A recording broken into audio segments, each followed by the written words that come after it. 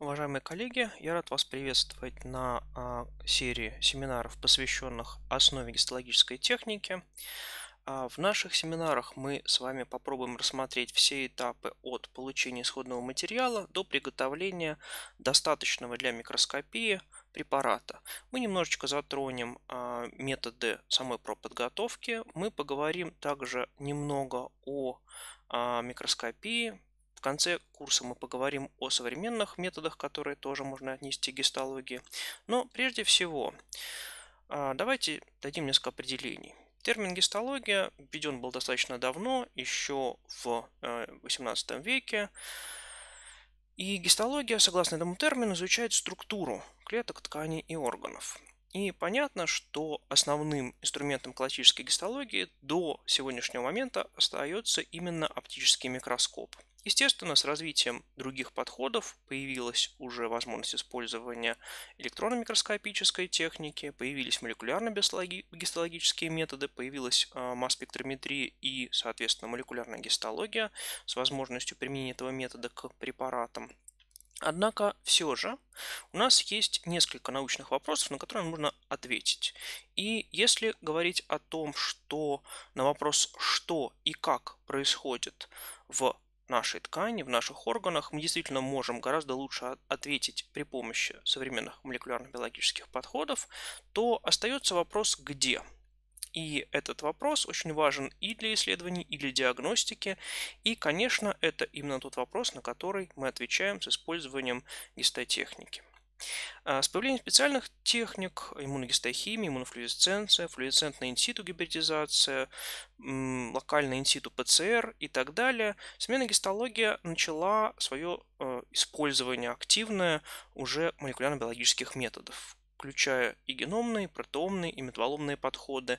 Но а, тем не менее, мы должны прежде всего рассмотреть классические подходы, используемые для приготовления биологических образцов. И поэтому сама по себе, а, сам по себе метод, которым мы можем это сделать, а, называется гистотехнологией. То есть это обработка подготовка ткани для исследования, ну и, конечно, опять же, в основном методами оптической микроскопии. Для того, чтобы могли такой препарат в оптический микроскоп положить, он должен соответствовать нескольким критериям. Прежде всего, он должен быть прозрачным. Если мы с вами говорим об оптической микроскопии, то для видимого света. Если мы говорим об электронной микроскопии, то для электронов. Соответственно, если мы хотим, чтобы он был прозрачным, он должен быть приготовлен в виде достаточно тонких срезов или мазков. То есть он должен быть смонтирован на какой-то подложке, на стеклах для микроскопии оптической, на сетках для микроскопии электронной. И, естественно, для изготовления таких тонких срезов мы должны специальным образом ткань подготовить. Потому что, например, нарезать нефиксированную ткань мозга можно при помощи, скажем, вибротомии, но особо тонких срезов, так чтобы у нас, скажем, клетки нашего интереса располагались ровно в один слой, получить мы, к сожалению, при такой резке не сможем. Ну и последнее, что нам нужно отметить, то что э, большинство наших тканей, которые мы исследуем, не имеют собственной окраски. Конечно, можно назвать исключения. Например, мы можем говорить о меланоцитах, можем говорить о красных, э, о некоторых других э, клетках, имеющих свою окраску, но в большинстве случаев, естественно, клетки животных не имеют собственной окраски. И поэтому для того, чтобы увидеть какие-то структуры на оптическом уровне, скорее всего, нам придется использовать методы дифференциальной окраски. То есть методы, когда окраска позволит нам выявить какие-то определенные структуры интереса, а не будет окрашивать весь препарат тотально. Типы препаратов, которые можем использовать. Ну, самый простой тип препарата – это так называемый тотальный препарат – когда мы с вами просто берем целиком весь организм, если позволяет нам это сделать его размер, а, например, какое-нибудь простейшее, или если это у нас монослой клеток, выращенных как раз на покровном стекле, то такой препарат, естественно, будет отражать и а, пространственные взаимоотношения в исследуемом объекте. Следующий тип препаратов, а, он достаточно редко используется, и в основном это для микроскопии хромосом, более того, в основном на растительных клетках, это так называемые раздавленные препараты, когда вы просто ваш объект давите между предметным покровным стеклом, и, в принципе, он после этого пригоден к микроскопии, но понятно, что здесь уже нарушается пространственная информация об образце. Третий – мазок. У нас есть один из органов, который представляет из себя в норме жидкость, кровь. И, естественно, для такого органа вполне подходящим будет являться мазок. Однако мазки или отпечатки могут быть получены из других органов, либо при помощи предварительной их мацерации, либо при помощи отпечатка органа на какой-нибудь подложке специальной. Опять же, в случае, если это мазок, как мазок крови, то пространственная, естественная информация не сохраняется. В случае отпечатка она сохраняется частично. Ну и самый важный тип, о котором мы должны будем поговорить, это собственно говоря, срезы. То, что мы будем в курсе подробно рассматривать. Таким образом, из всех типов препаратов, которые мы с вами рассмотрели, только первый и четвертый тип, то есть тотальный препарат и срезы, позволяют сохранить полную пространственную информацию о той части образца, которая попала у нас на срез. А, условно, весь путь препарата от образца, который вы получили, до получения уже фотографии или в данном случае а, файла с изображением вашего препарата можно разбить условно на несколько этапов. Первый этап это, собственно говоря, диссекция самого органа или животного. Здесь, конечно, важна ориентация, важно знание той структуры, которую вы исследуете. Ну и э, иногда дальше этап, который можно назвать вырезкой гроссингом или макродиссекцией, это вариант измельчения этого образца до такого размера, который пригоден для дальнейшей фиксации. То есть для сохранения его а, близких к прижизненным структурных компонентов. А, в дальнейшем, если мы собираемся а, изготавливать срезы из нашего препарата после фиксации, нам все-таки необходимо этот препарат заключить в какую-то среду или каким-то образом уплотнить. Потому что даже после фиксации чаще всего препарат у нас недостаточно уплотнен, чтобы можно было сделать тонкие срезы. После этого блок, который у нас получился, будь то замороженный блок, будь то блок в парафине или в каком-то другом э, переходном материале, нам необходимо секционировать, то есть сделать с него срез. Срезы нам нужно смонтировать на стекла, и после этого смонтированные на стеклах срезы нам нужно покрасить. Либо классическими гистологическими окрасками, либо специальными окрасками, если мы хотим выявить какие-то определенные компоненты с этого препарата, либо при помощи иммуногистохимии, иммунофлюоресценции, либо флюоресцентной инсиду-гибридизации, если мы говорим о интересующих нас участках, например, нуклеиновых кислот. После этого нам нужно препарат заключить в среду, под покровное стекло, ну и, собственно говоря, приступить к микроскопии. Более подробно в микроскопии будет отдельный курс лекций, который можно будет прослушать, поэтому в данных семинарах она будет рассмотрена очень кратко на нескольких лекциях. Но самое важное, на любом этапе, если вы допустите ошибку, дальше эта ошибка уже не может быть легко исправлена. К примеру, во время диссекции вы не очень аккуратно обошлись с тканью или вырезали ее в неправильной для вас ориентации. Естественно, все остальные этапы исправить это не смогут, только добавить. В случае макродиссекции, например, вы сделали слишком толстые куски, которые не подошли для дальнейшей фиксации материала. Понятно, что дальше тоже эта ошибка будет только накапливаться. Например, вы плохо залили ваш образец. Естественно, все, что пойдет дальше, будет также эти ошибки повторять. То есть ошибки будут у вас все, которые сможете допустить, складываться. И препарат, который вы получите, это сумма всех ошибок, которые вы могли допустить на предыдущих этапах. Соответственно, задача нашего курса попробовать описать каждый из этих этапов, а, указав на какие-то возможные ошибки, ну и разобрав в некоторых случаях способы их устранения. А, первый этап, то, что называется макродиссекцией, гроссинг, или иногда по-русски это называется вырезкой, имеет одну цель. Это подготовка образца к фиксации и дальнейшей обработке. Какие этапы здесь можно выделить? Причем это не только для клинических исследований, это и для исследований в, в том числе и фундаментальной науке. Прежде всего, то, что называется регистрацией образца. Это некое макроанатомическое описание – присвоение номера или бирки или какого-то другого опознавательного знака, который позволит вам дальше этот образец уже а, занести в журнал, занести в какую-то лабораторную информационную систему и следить за тем, что дальше будет происходить. Почему это важно? Дело в том, что некоторые органы имеют очень сложную внутреннюю структуру. И, а, например, для мозга, да, где у нас есть, к примеру, кара, состоящая из определенного количества слоев, эта ориентация очень важна, потому что если будет сориентирован у вас объект не очень верно, то понятно, что при кривом срезе размеры слоев будут различаться, будет различаться структура, вам будет сложно сориентироваться по полученному срезу в атласе. В случае клинических образцов тоже становится понятно, что если у вас есть какая-то часть ткани, которая была повреждена или является раковой, то ее, естественно, хорошо было бы сориентировать так, чтобы можно было в дальнейшем использовать этот образец для диагностики. Поэтому регистрация образца, то есть макросъемка на обычную, скажем, цветную камеру, перед тем, как вы в дальнейшем будете делать саму по себе вырезку, очень важный и удобный шаг. После этого нам нужно уменьшить объем материала для того, чтобы мы могли с вами сделать нормальную полноценную фиксацию. Как вы увидите, фиксация – это процесс достаточно длительный, и, к сожалению, чем больше размер объекта, тем медленнее эта фиксация будет происходить.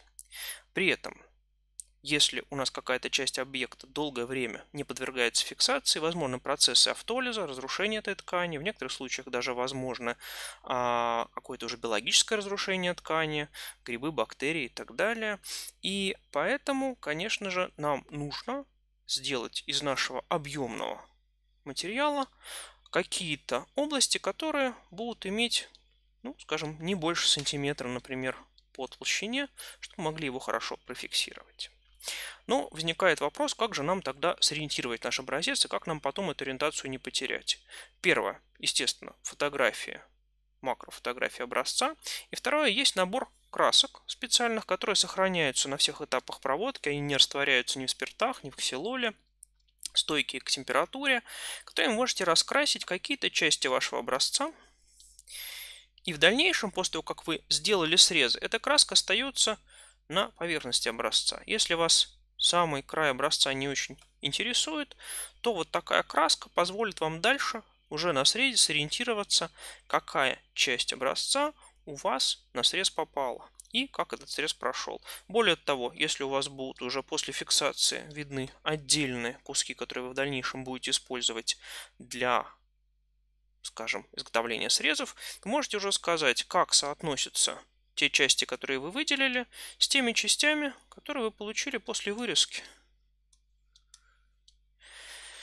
А краски, которые в данном случае могут быть использованы, это в основном, конечно, коммерческие наборы, но и некоторые более-менее обычные в лабораторной практике краски, такие как, скажем, эозин, такие как а, бенгальский розовый, альциан синий, могут быть тоже использованы. Хотя, конечно, они менее стойкие, например, при проводке через спирты.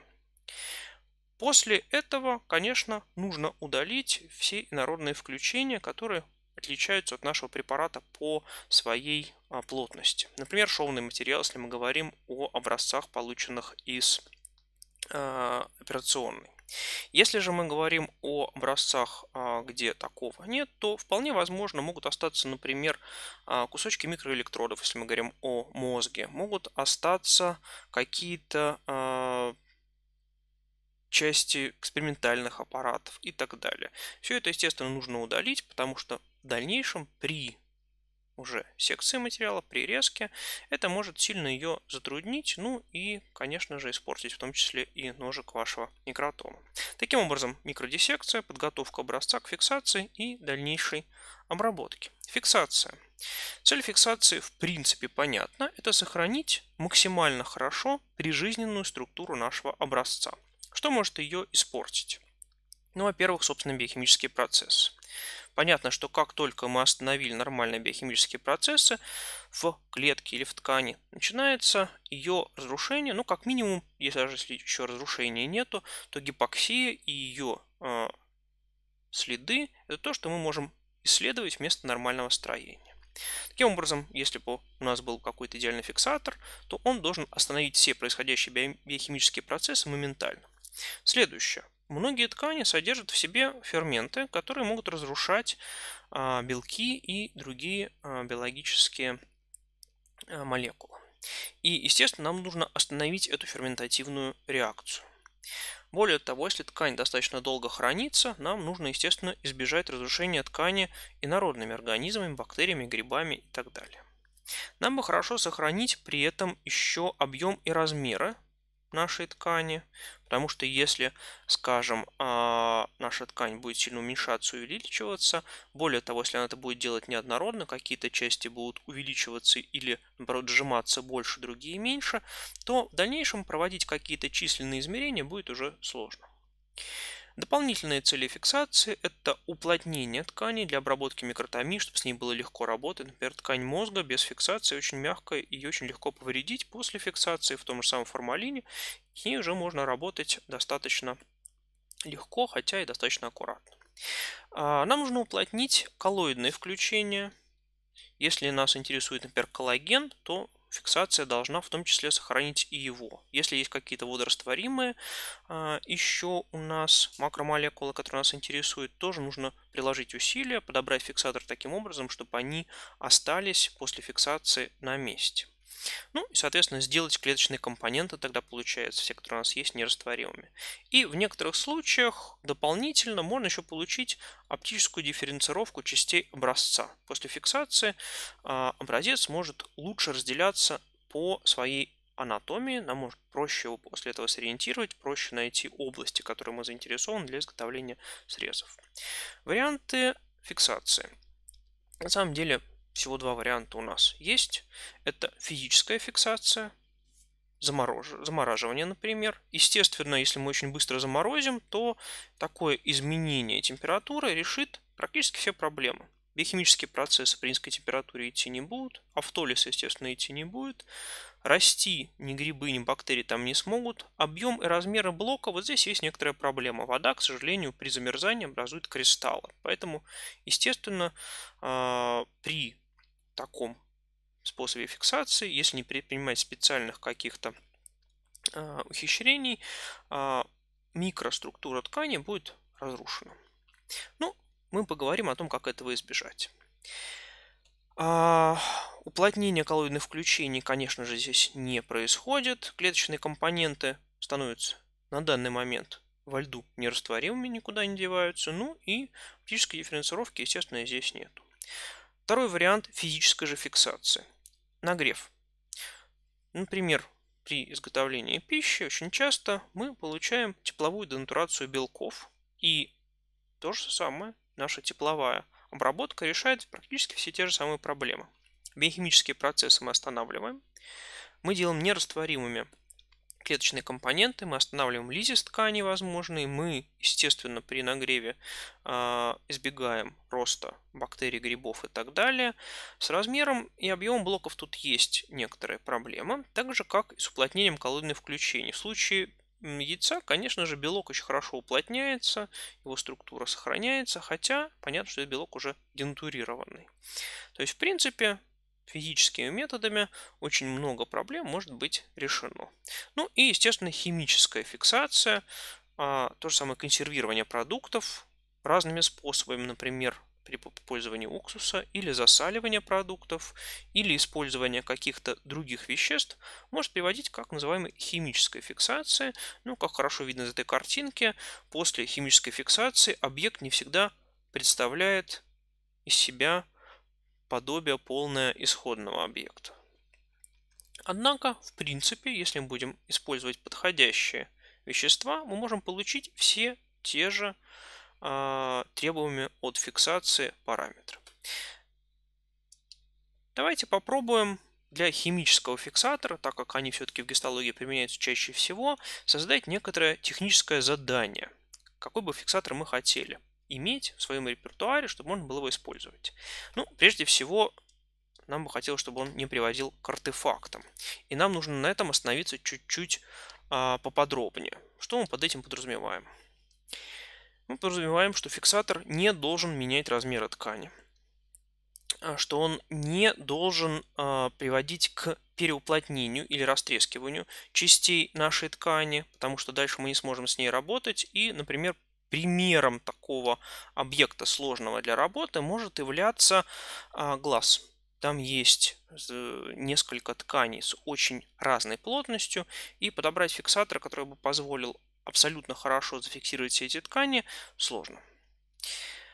Естественно, мы хотели, чтобы наш фиксатор не мешал последующим методам окраски. То есть позволил нам использовать какую-то гистологическую окраску, не изменяя характера распределения, либо оставил достаточную иммуногенность нашей ткани для иммуногистохимии, иммунофлуоресценции, либо оставил сохранными нуклеиновые кислоты для флуоресцентной инситу-гибридизации. Нам бы хотелось, чтобы фиксатор очень быстро, в идеале моментально, мог проникнуть в ткань и фиксировать все вещества без их экстракции с ткани. Потому что представим, что у нас фиксатор, который мы используем, например, спирт.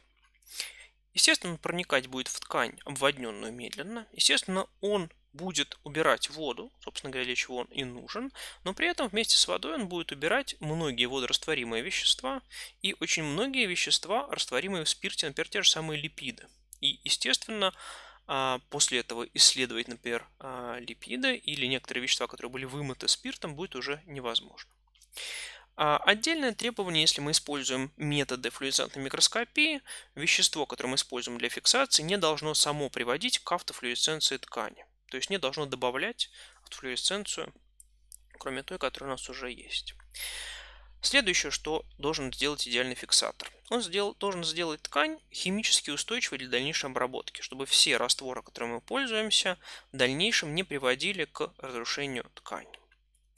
Он должен достаточно хорошо уплотнять ткань для дальнейшей проводки, микротомии, ну, естественно, без переуплотнения, чтобы потом у нас блок не крошился.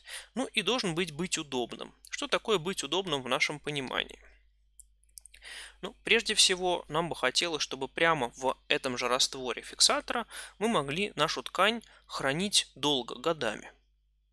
А нам бы хотелось, чтобы такой фиксатор был, ну, недорогим. Потому что если этот фиксатор стоит очень дорого, понятно, мы его использовать для всех наших процедур не сможем. Желательно, чтобы он был совместим с автоматической проводкой. Как мы дальше увидим, существует целый класс приборов, которые нам очень сильно упрощают жизнь, которые автоматически либо переносят из раствора в раствор нашу ткань, наши блоки или кассеты с тканью, либо меняет жидкости, необходимые для обработки, вокруг этой ткани в какой-то емкости. Ну и понятно, что в данном случае есть целый ряд веществ, которые будут несовместимы с автоматической проводкой. Например, хлороформ. Он практически любой пластик очень сильно разрушает, растворяет и, конечно, с автоматической проводкой несовместим. Например, соли ртути, которые очень хороши и удобны для а, многих вариантов фиксации, хотя сейчас от солей ртути, конечно же, уже уходит ввиду сложности с их утилизацией, с тем, что они ядовиты. И понятно, что соли ртути с металлом себя ведут очень плохо. Например, а, некоторые соли металлов, такие как, например, сульфат, сульфид цинка, который тоже может использоваться, хлорид цинка, а, в силу своей коррозионности не может быть совместим с некоторыми вариантами автоматической проводки, ну и так далее. Перечислять здесь можно долго. А хотелось бы, чтобы наш фиксатор был пригоден к утилизации, чтобы нам не приходилось заказывать специальную компанию для их утилизации, не платить за это деньги, или же, что еще лучше, к повторному использованию. Например, чтобы могли просто перегнать получившийся у нас израсходованный фиксатор и получить его опять новым. Ну и для России быть безопасным, не горючим, не содержать прекурсоров, ну и контролируемых веществ. К сожалению, метанол у нас теперь, э, как знаете, является сильнодействующим ядовитым веществом, подлежит контролю этанол. Ну, в общем, э, к сожалению, сейчас, конечно, а, достаточно сложно работать в лаборатории, требуется учет многочисленных вот этих вот веществ, без которых мы не можем. Ну и давайте посмотрим, что у нас при этом возможно. Если у нас есть некое такое ТЗ для идеального фиксатора, то давайте сравнивать с этим техническим заданием различные фиксаторы, которые у нас есть.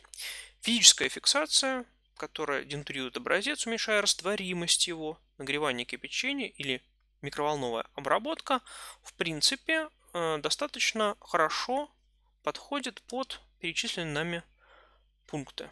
К артефактам. Ну, опять же, если небольшой блок, то не сильно приводит. Ткань химически устойчивая, конечно, фиксация такая а, не всегда делает, за исключением нагрева. Нагрев, в принципе, может тому приводить, охлаждение нет. А, достаточно уплотнять ткань может. В криостате мы можем резать такую ткань достаточно легко, если охлаждаем. После нагрева, если произошла коагуляция ткани, тоже можем. Ну и удобным, в принципе, да, конечно, удобен.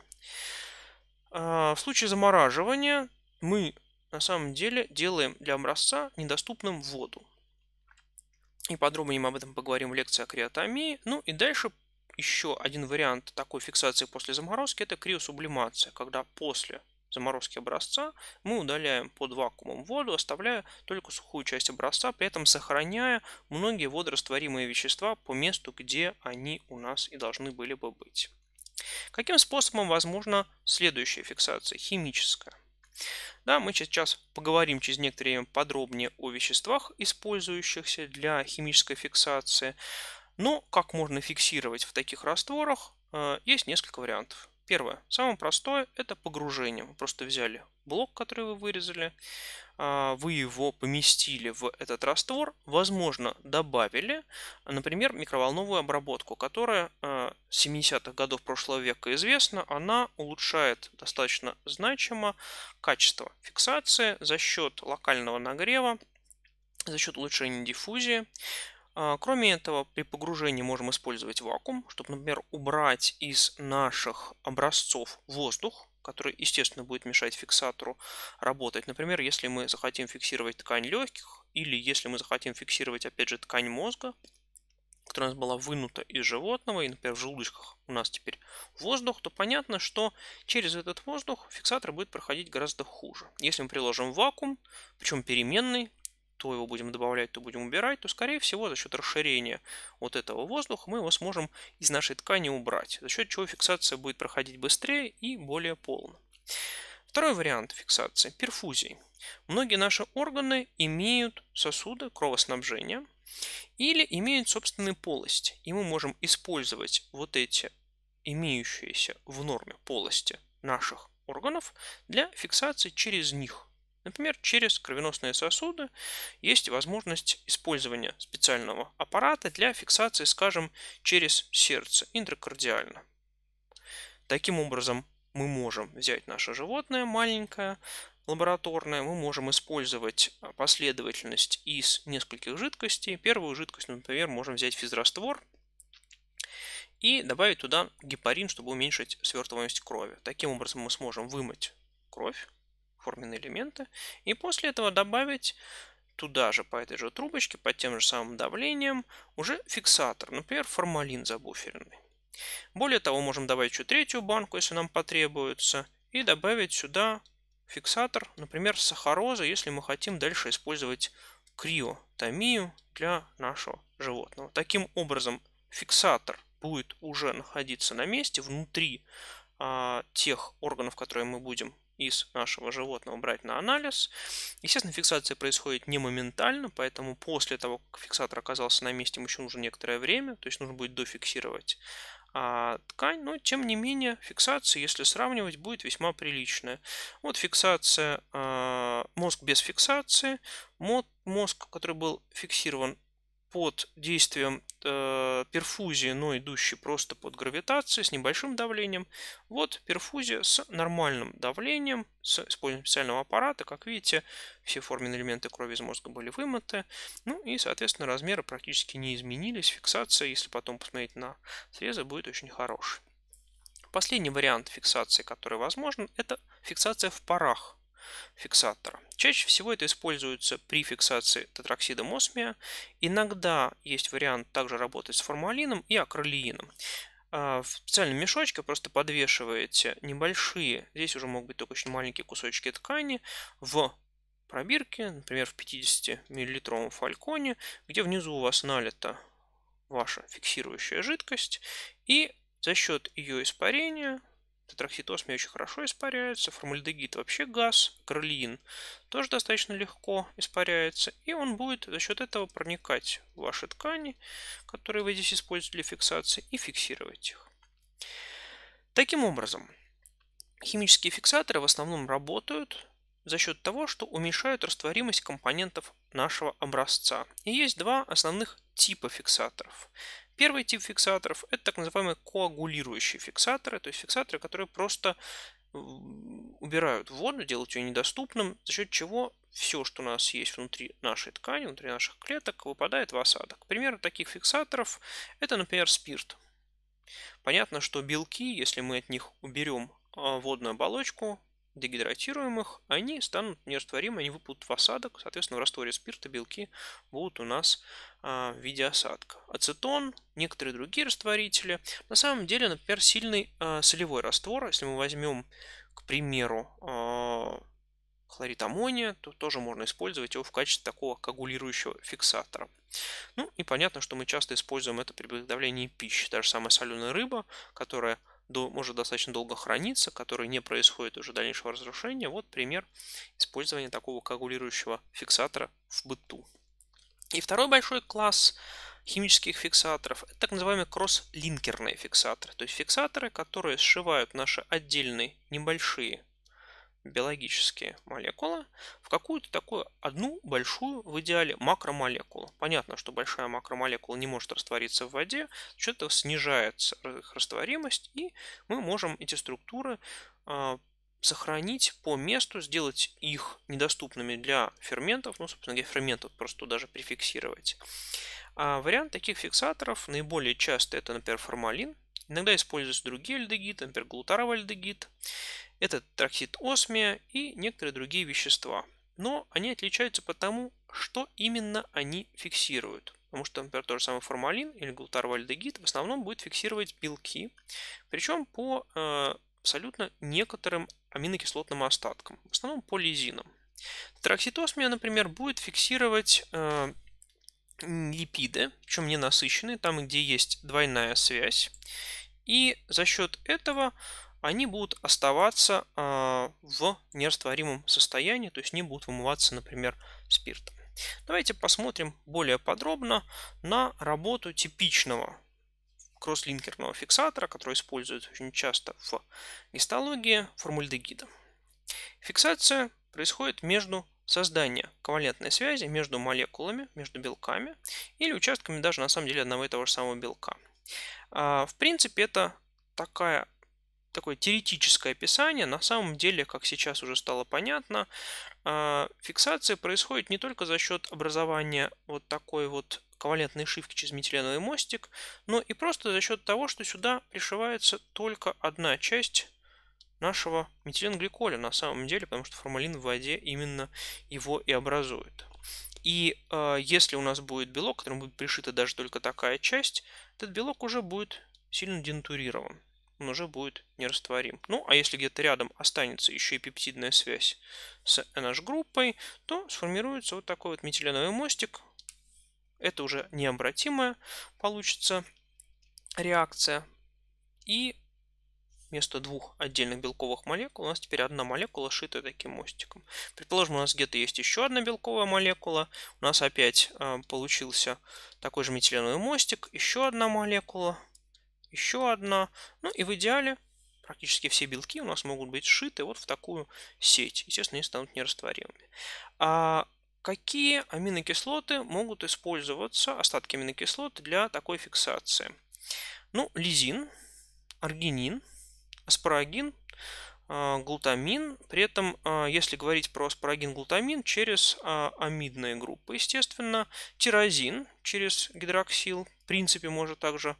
Но в основном это все-таки лизины. Какие еще фиксаторы могут работать схожим образом? Ну, альдегиды понятно. Тот же самый глютаровый альдегид. У него на самом деле два а, альдегиды, два, две такие группы, которые могут участвовать в связи белков, поэтому шивка может идти еще а, более активно. Хлоральдегидрат, глиосаль сейчас используется как заменитель а, формалина, потому что считается, что он более безопасен. Но глиосаль используется чаще всего с микроволновым излучением, потому что сам по себе он не очень хорошо фиксирует. Некоторые соли металлов. Хлорид ртути, цинк. Тетроксид осмия, ну, тетроксид осмия, как я уже говорил, используется для липидов. Ну и давайте посмотрим, почему на самом деле столько разных вариантов фиксаторов. Мы с вами поговорили, что у нас есть коагулирующие, мы поговорили о кросслинкерных. В чем разница? Давайте посмотрим на коагулирующий фиксатор. Типичный представитель – этанол. А, фиксирует он уже, как мы говорили, за счет изъятия воды из оболочки водной белков, после чего белки денатурируют, выпадают в осадок. На самом деле таких коагулирующих фиксаторов можно назвать много. Другие спирты, метанол, бутанол, изопропанол, ацетон, трихлоруксусная кислота, уксусная кислота, пикриновая кислота. Ну и если мы сделаем окраску наших препаратов, например, стандартный гематоксилин и азин, то мы сможем увидеть, что есть некоторая разница в сохранности тканей. С одной стороны у нас изображение после фиксации в забуферном формалине, стандартный фиксатор, универсальный, подходит почти подо все, э, но, опять же, как любая универсальная вещь, имеет свои изъяны. Ну и второй вариант, та же самая ткань кишечная, фиксированная просто в 96% этаноле. Посмотрите на разницу между этими двумя тканями. Во-первых, в случае фиксации в спирте некоторые компоненты нашей ткани были просто-напросто удалены и мы их с вами здесь увидеть не можем. В то же самое время в фиксации в формалине у нас все осталось более-менее классически, мы это все с вами видим. То есть произошла частичная экстракция определенных веществ. Кроме того, посмотрите, как сжались ядра, насколько это все стало меньше. В то же самое время в формалине ядра остались более-менее одинаковыми. Однако, обратите внимание на окраску, в данном случае иозина у нас это красная краска иозином, насколько она лучше и ярче в фиксации спиртом. И насколько она становится чуть хуже, темнее и не такая красивая в окраске в забуферном формалине. Почему? На самом деле эта окраска точно так же использует NH группы, которые находятся в наших белках. Но часть из них мы с вами уже заняли при помощи формалина. И, естественно, сродство этой краски к этой ткани, к белкам этой ткани стало меньше. То есть, как видите, есть некая разница между двумя вариантами фиксации. Ну и, конечно, а, в зависимости от ткани, в зависимости от ваших задач, нужно выбирать одну или другую фиксацию и быть готовым к тому, что одна и та же ткань будет выглядеть по-разному при разных условиях фиксации. В связи с этим нам нужно поговорить еще о параметрах фиксации, которые мы можем контролировать. Ну, первый параметр, который можем контролировать, концентрация фиксатора. В идеале, если мы возьмем очень большую концентрацию фиксатора, у нас фиксация пойдет быстро. Но что это означает? Предположим, что у нас есть некий образец, и мы положили фиксатор, который фиксирует очень быстро. Фиксатор успел проникнуть только вот на такую небольшую глубину, После чего он очень хорошо зафиксировал внешнюю часть нашего объекта. Понятно, что проникновение свободного фиксатора теперь через эту оболочку зафиксированную внутри объекта будет затруднено. И следующая часть фиксатора сможет проникнуть внутрь объекта уже через очень долгое время. Опять же, она здесь зафиксирует следующую часть нашего объекта и так далее. То есть, если у нас будет очень высокая концентрация фиксатора, в большинстве случаев, если фиксатор еще достаточно быстро работает, мы уплотним внешнюю часть нашего объекта, и фиксатор не сможет проникнуть внутрь нашего объекта. То есть мы получим хорошую фиксацию по краю объекта и очень плохую в глубине. Следующая переменная. Отношение объема фиксатора к объему ткани. Очень важный параметр. Никогда не берите это соотношение меньше, чем 1 к 20. Почему? Во-первых, фиксатор расходуется. Если мы берем какой-то кусочек ткани, да, то вот этот вот формалин, он используется на фиксацию нашего образца. Во-вторых, какая-то часть нашего образца может диффундировать фиксатор. И если мы теперь а, положим, например, в одну баночку несколько различных образцов, ну, собственно говоря, возможно то, что мы будем иметь некую контаминацию одного образца другим. А, и чтобы фиксация прошла хорошо, чтобы избежать этого а, неприятного момента, считается, что 1 к 20 это минимум. В некоторых работах пишут 1 к 50 и более. А, ну, 1 к 20 будем считать, что это как бы минимально допустимо. Температура фиксации. Здесь опять же можно говорить о некотором компромиссе. С одной стороны, если мы будем использовать маленькую температуру, понятно, химические реакции при низкой температуре идут медленнее. А, и в принципе, при низкой температуре мы можем обеспечить с вами проникновение фиксатора чуть глубже. Но с другой стороны, уменьшается и диффузия с, с уменьшением температуры. И считается классически, что, например, для формалина лучше использовать температуру комнатную для нормальной фиксации. С другой стороны, если вы, например, уже сделали перфузию, и формалин уже находится внутри ваших тканей, которые вы хотите использовать для исследования, то, наверное, тут можно как раз сделать температуру поменьше. Например, плюс 4 на, скажем, 12 часов. Но, опять же, зависит от ткани, которую вы исследуете. Время фиксации. Это очень хорошо исследовалось еще в прошлом веке, и э, есть до сих пор доступная э, статья, которая говорит о том, как можно рассчитать примерное время фиксации для разных фиксаторов и тканей. Видно, что в данном случае у нас есть некий коэффициент k, который для каждого фиксатора свой, и корень квадратный из времени. Что это означает? А это означает, что если мы хотим увеличить размер ткани вдвое, то понятно, что время фиксации у нас будет гораздо сильнее увеличиваться. D в данном случае это глубина проникновения фиксатора в ткань. Предположим, что мы хотим профиксировать кубик ткани размером 1 квадратный сантиметр. У нас везде 1 сантиметр. Для э, фиксатора возьмем формалин 10%. И тогда мы можем посчитать это по формуле. Для формалина это будет 5, а, это значение. Э, извините, э, мы хотим профиксировать вот этот блок. Соответственно, если у нас сантиметр, то внутрь нам нужно на 5 миллиметров, чтобы это проникло. Значит, тогда у нас d будет получаться равно 5. А, К мы можем взять из этой э, статьи, это будет 0,78. Ну и корень квадратный из t время. Мы можем посчитать эту формулу в обратном направлении. t у нас тогда будет равно 5 делить на 0,78. И это еще в квадрате.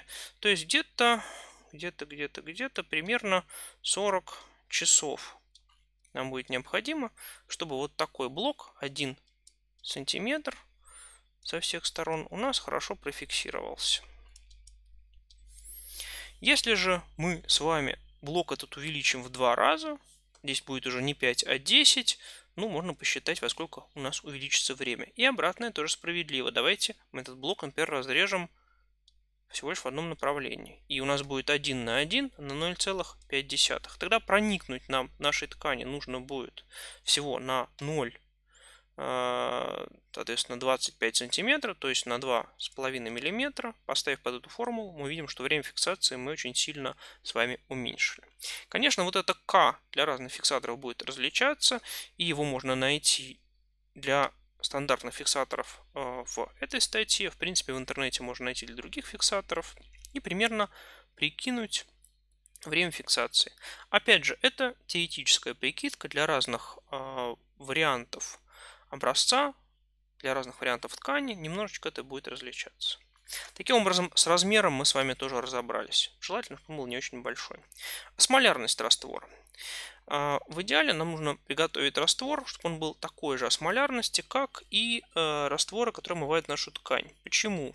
Если смолярность будет сильно различаться, клетки у нас уже мертвые во время фиксации, и они не способны регулировать количество поступающих внутрь воды, если, скажем, содержание солей в клетках больше. И наоборот, если у нас фиксатор имеет большую осмолярность, то вода из клетки будет выходить, и вокруг клеток будет образовываться такое гало. Особенно хорошо это видно на тканях мозга, когда вокруг некоторых нейронов образуются такие как бы впадинки, белые э, облачка, когда просто нейрон, например, большой какой-нибудь клетка Бетса, уменьшилась в размерах за счет неправильно подобранной осмолярности pH раствора. Здесь мы должны будем обсудить отдельно для каждого фиксатора – но некоторые фиксаторы плохо работают в кислой среде. Некоторые фиксаторы образуют в случае э, закисления среды э, так называемые пигменты или некие вещества, обладающие окраской, которые нам могут мешать. Э, но в некоторых случаях для некоторых протоколов мы, наоборот, можем захотеть уменьшения времени работы фиксатора, чтобы он работал хуже, за счет чего можем позволить этому фиксатору, пока он работает плохо, проникнуть внутрь ткани, а потом уже изменить, например, pH, чтобы у нас вся ткань зафиксировалась хорошо. Ну и если мы говорим о фиксаторах, в некоторых случаях мы используем не просто одно вещество, например, формалин, а некую смесь с использованием дополнительных веществ. К примеру, таким дополнительным веществом может являться фенол, который удобен для некоторых плотных тканей. Он уменьшает их э, переуплотнение при фиксации. Пример очень хорошо это работает с тканями глаз. Для всяких хрящей тоже бывает полезно. Плюс мы можем ускорить фиксацию с использованием перемешивания или пониженного давления. Пониженное давление еще позволяет убирать пузыри воздуха из ткани и микроволнового излучения. Таким образом, как видите, э, у нас есть несколько вещей, которые мы обязательно должны с вами соблюсти. Концентрацию фиксатора мы должны использовать такую, чтобы у нас не было переуплотнения по краю препарата, чтобы у нас профиксировалось целиком. Отношение объема фиксатора к ткани 1 к 20 это минимально. С температурой мы еще с вами поговорим. Ну и, конечно, некоторые дополнительные действия, типа перемешивания аккуратного и микроволнового излучения могут нам добавить, э, улучшить качество фиксации и нашей ткани. Ну и самый классический фиксатор – это формалин, мы уже о нем начали с вами говорить. И в принципе понятно, что это фиксатор, который работает с созданием ковалентной связи, вот этого вот самого метиленового мостика. И опять же, из последних статей известно, что на самом деле не все молекулы а, формалина образуют такой метиленовый мостик. Многие из них прицепляются только к одному белку ковалентно, с одной стороны, не сшивая их вдвоем, но это уже денатурирует белок, и вот эта часть реакции обратима. На этом основаны некоторые методы а, демаскинга антигенов, то есть обращение этой реакции для того, чтобы восстановить иммуногенность ткани для методов иммуногистохимии, иммунофлюоресценции. При этом, так как фиксируются только белки, то если нету группы, которая может использовать для ковалентной связи в данном случае, то вещества, не имеющие такой группы, будут вымываться, особенно если они водорастворимые, или если мы будем использовать потом при обработке, например, спирт или ксилол, они растворимы в этих веществах, то вымываться будут в этих веществах. А, конечно, а, если есть аминогруппа, например, на липидах, есть такая группа липидов с аминогруппой, они могут быть префиксированы, остальные липиды будут в случае обработки, в спиртах вымыты. Водорастворимые соединения, например, полисахариды какие-нибудь, тоже будут вымыты. А, так как фиксация идет не очень быстро, то в принципе и некоторые другие вещества тоже могут быть потеряны при такой фиксации. Что такое формалин? Формалин – это насыщенный раствор формальдегида, газообразного вещества, в воде. Причем, если мы будем говорить о нормальных условиях, то э, это может быть, в зависимости от разных статей, где-то от 37 до 40% газа может быть растворено в 100% воды. И вот от этого раствора, который теперь приравнивается, вот это вот место, где очень часто можно запутаться, вот эти вот 37% приравниваются к 100%, но теперь уже формалину. Используется 10% этого раствора для создания фиксатора. То есть, если мы пересчитаем на массу и будем для упрощения считать, что это 40 единиц формальдегида на 100 единиц воды, то по массе в случае приготовления такого формалина а, соотношение будет такое. Если же мы говорим о используемой концентрации для фиксации, то это будет 4 к 100 единицам воды. Однако формалин чаще всего лучше готовить из так называемого параформальдегида. Это его а, состояние, когда он становится полимером. По весу здесь то же самое можно сделать. И 4% раствор параформальдегида – это то же самое, что 10% раствор формалина. Ну и то же самое, что 4% раствор формальдегида, то есть газа, в воде. А, если вы будете готовить формалин из парформальдегида, он будет у вас чистый, не окисленный, но требуются некоторые усилия, чтобы его приготовить. Во-первых, реакция полимеризации формалина. Формальдегид, она обратима. И смещается эта реакция в сторону растворения и деполимеризации в случае, если у вас среда нейтральная или слегка щелочная. Поэтому для того, чтобы лучше растворялась, можно добавить несколько капелек натрия H в воду, и тогда а, растворение пойдет гораздо быстрее. А, если вы планируете хранить ваш формалин, то чтобы он не выпадал в осадок при обычных условиях, можно добавить немножечко метанола и опять же эту реакцию сместить в сторону деполимеризации. Ну, естественно, при приготовлении формалина вы можете поставить на ночь смешалкой в термостат, скажем, 40-градусный, чтобы это растворение произошло быстрее. Не стоит долго держать формалин в высокой температуре, потому что он начнет окисляться, и у вас будет образовываться муравьиновая кислота. Но муравьиная кислота, естественно, будет изменять pH вашего раствора, закислять его. Ну и образование как раз таки кислоты будет смещать вашу реакцию в сторону полимеризации. А, поэтому обычно формалин не используют в а, вот таком вот сыром виде, а добавляют к нему какой-то буферный раствор, чаще всего фосфатный буфер, для того, чтобы поддерживать pH в таком уровне, чтобы не происходило выпадение формалина в осадок после полимеризации, чтобы концентрация оставалась той же самой. Ну и опять же закисление, к сожалению, э, не всегда бывает полезно. Почему буфер еще нам нужен? Потому что э, формалин, в случае, если он кислый и действительно есть рецепты фиксации с использованием кислого формалина, э, с некоторыми тканями образует осадок, так называемый формалиновый пигмент, особенно если у вас произошел, например, лизис крови по каким-то э, из-за чего-то в вашей ткани, то, конечно, тогда будет образовываться коричневый пигмент, который, в принципе, можно удалить, ну, если у вас будет, скажем, правильный pH, то удалять его не придется. Итак, с формалином самая большая неприятность – это то, как его пересчитывать. И формалин – это 37 или по другим данным 40% раствор формальдегида в воде. Это 100% формалин. Его можно приготовить из параформальдегида и используется в основном для фиксации 10% раствор формалина или 4% раствор парформальдегида, что в принципе одно и то же. Какие есть недостатки у формалина? Ну, мы уже говорили, что он фиксирует только белки. И в некоторых случаях может фиксировать малочисленную группу липидов, у которых есть также аминогруппа.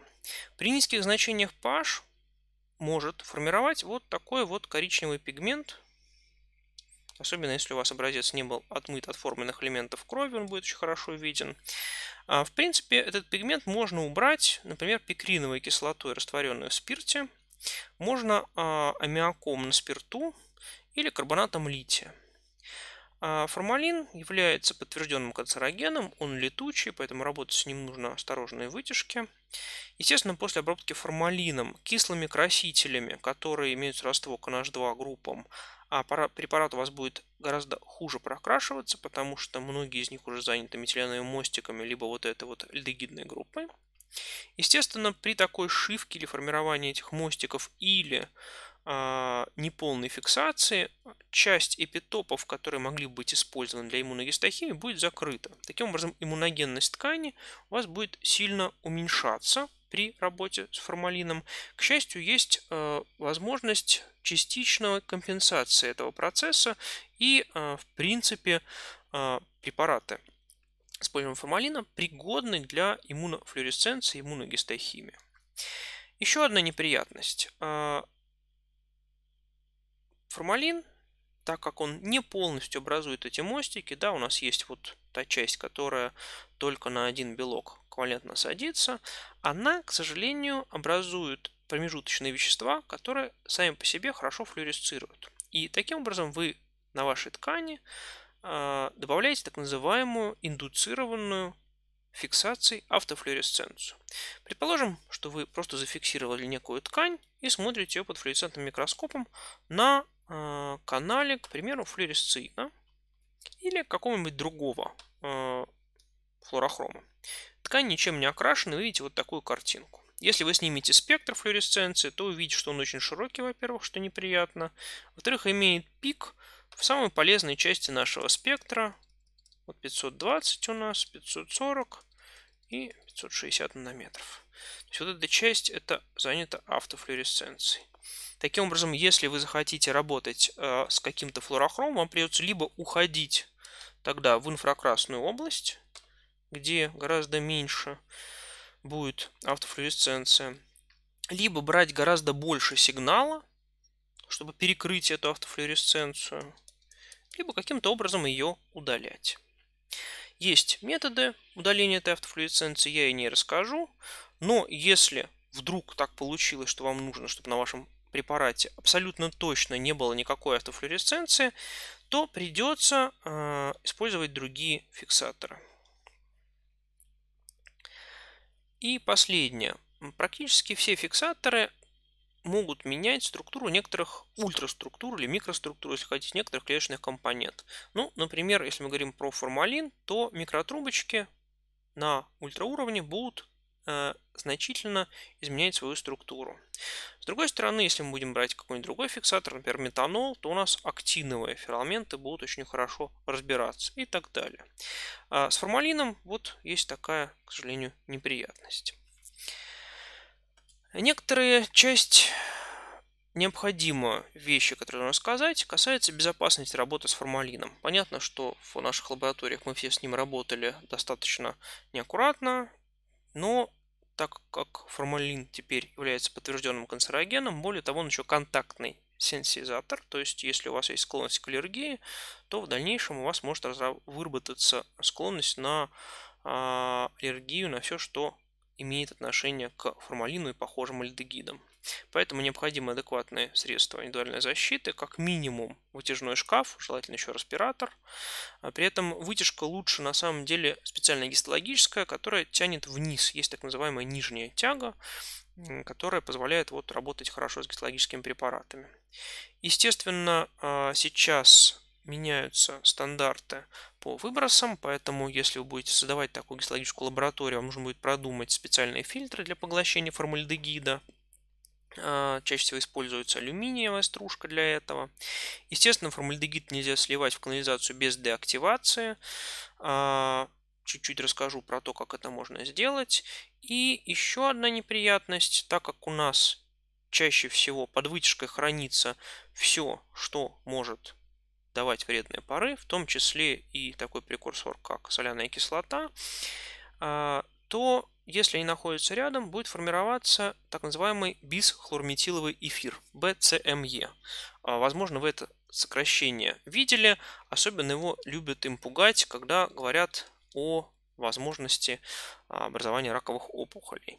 Вот это соединение как раз формируется в случае, если у вас формалин и соляная кислота – будут стоять рядом. Поэтому желательно в лаборатории их разносить по разным вытяжным шкафам, по разным местам хранения и так далее.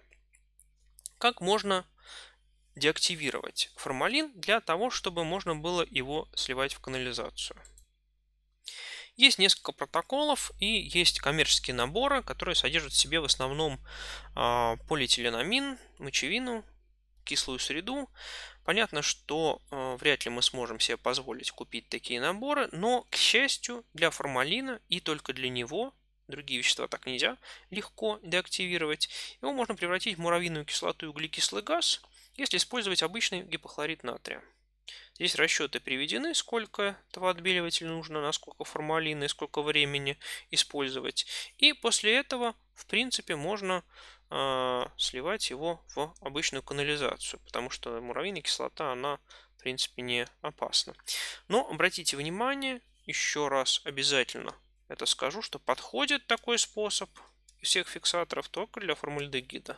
То есть, например, вылить также безнаказанно глютаровальдегид или акрилиин э, после такой обработки будет нельзя. То есть это только такой вариант. Ну, в принципе, можно еще отдавать его на переработку. Есть компании, занимающиеся переработкой именно формальдегида, если вы работаете, например, в каком-то медицинском учреждении. Ну и рецепты нескольких фиксаторов и объяснение различий между ними. Наиболее часто используемый такой классический фиксатор – это нейтральный забуференный формалин.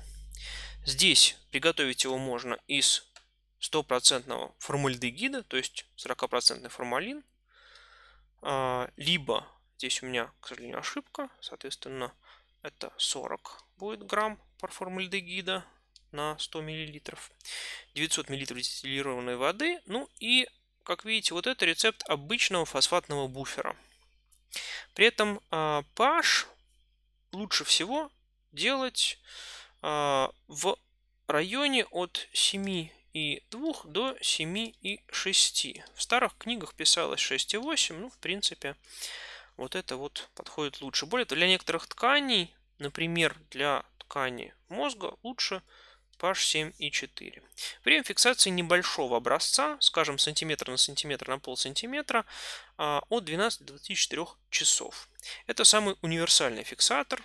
Образование пигмента здесь минимально за счет того, что pH ближе к нейтральному. Хранить можно достаточно долго ткань прямо в этом фиксаторе. Конечно, происходит э, уплотнение ткани, и годами хранить, наверное, не стоит. Более того, если хранить в таком фиксаторе ткань вы все-таки решите, наверное, лучше ее убирать на плюс 4 в холодильник. Но в любом случае достаточно продолжительное время фиксации в таком а, фиксаторе возможно, и можно ткань в нем оставлять на большее время, чем 12-24 часа для большинства тканей. Следующий фиксатор – это так называемый цинк-формалин. Ну, изначально он был как замена а, фиксатора с использованием ртути. Оказалось, что добавление хлорида э, сульфата цинка или в некоторых случаях используют еще хлорид цинка,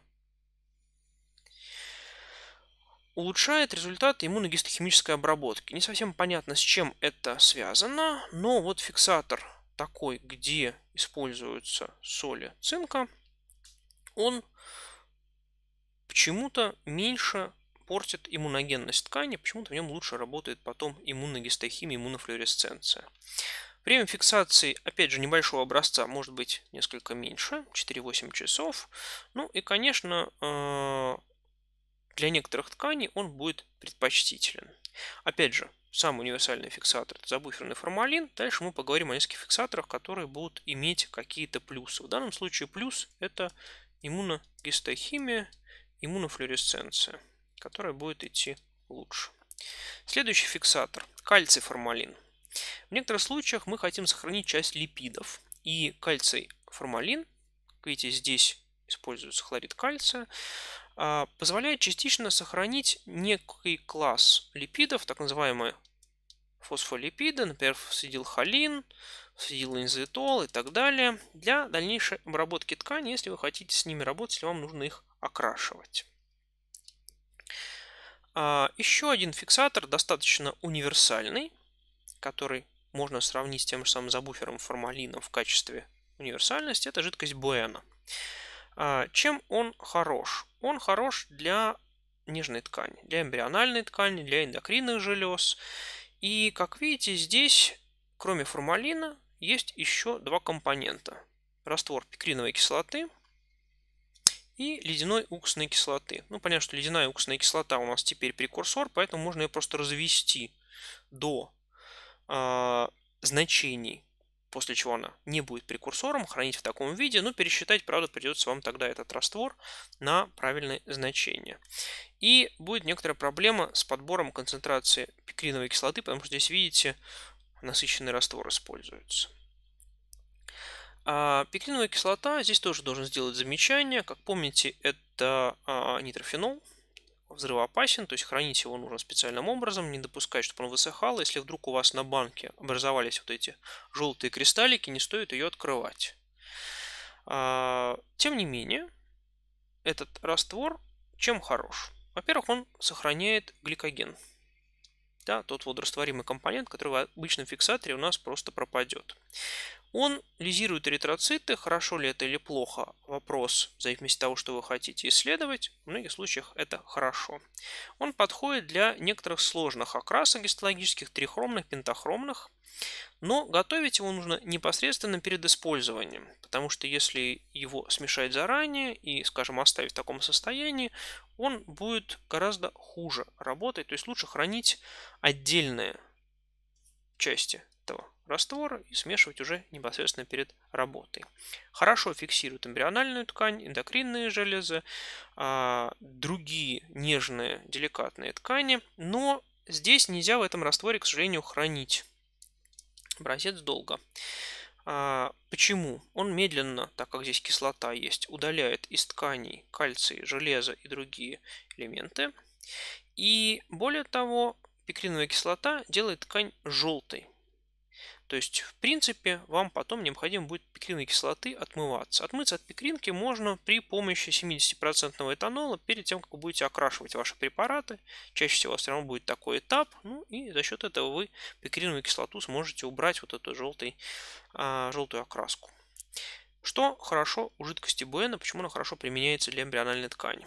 Она не вызывает существенные изменения размеров ткани и существенное его переуплотнение – а, вот, как ни странно, уксусная кислота, которая отдельно как раз будет вызывать переуплотнение ткани, изменение размеров, в случае такого фиксатора как раз-таки уменьшает эти нежелательные эффекты. Таким образом, наверное, второй по распространенности фиксатор – это вот жидкость Буэна после нейтрального забуферного формалина.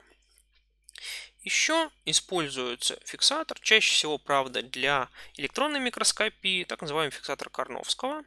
И здесь, кроме параформальдегида или формалина, посмотрите, здесь он в другой концентрации, добавляется еще глутаровый альдегид, который гораздо быстрее сшивает а, белки.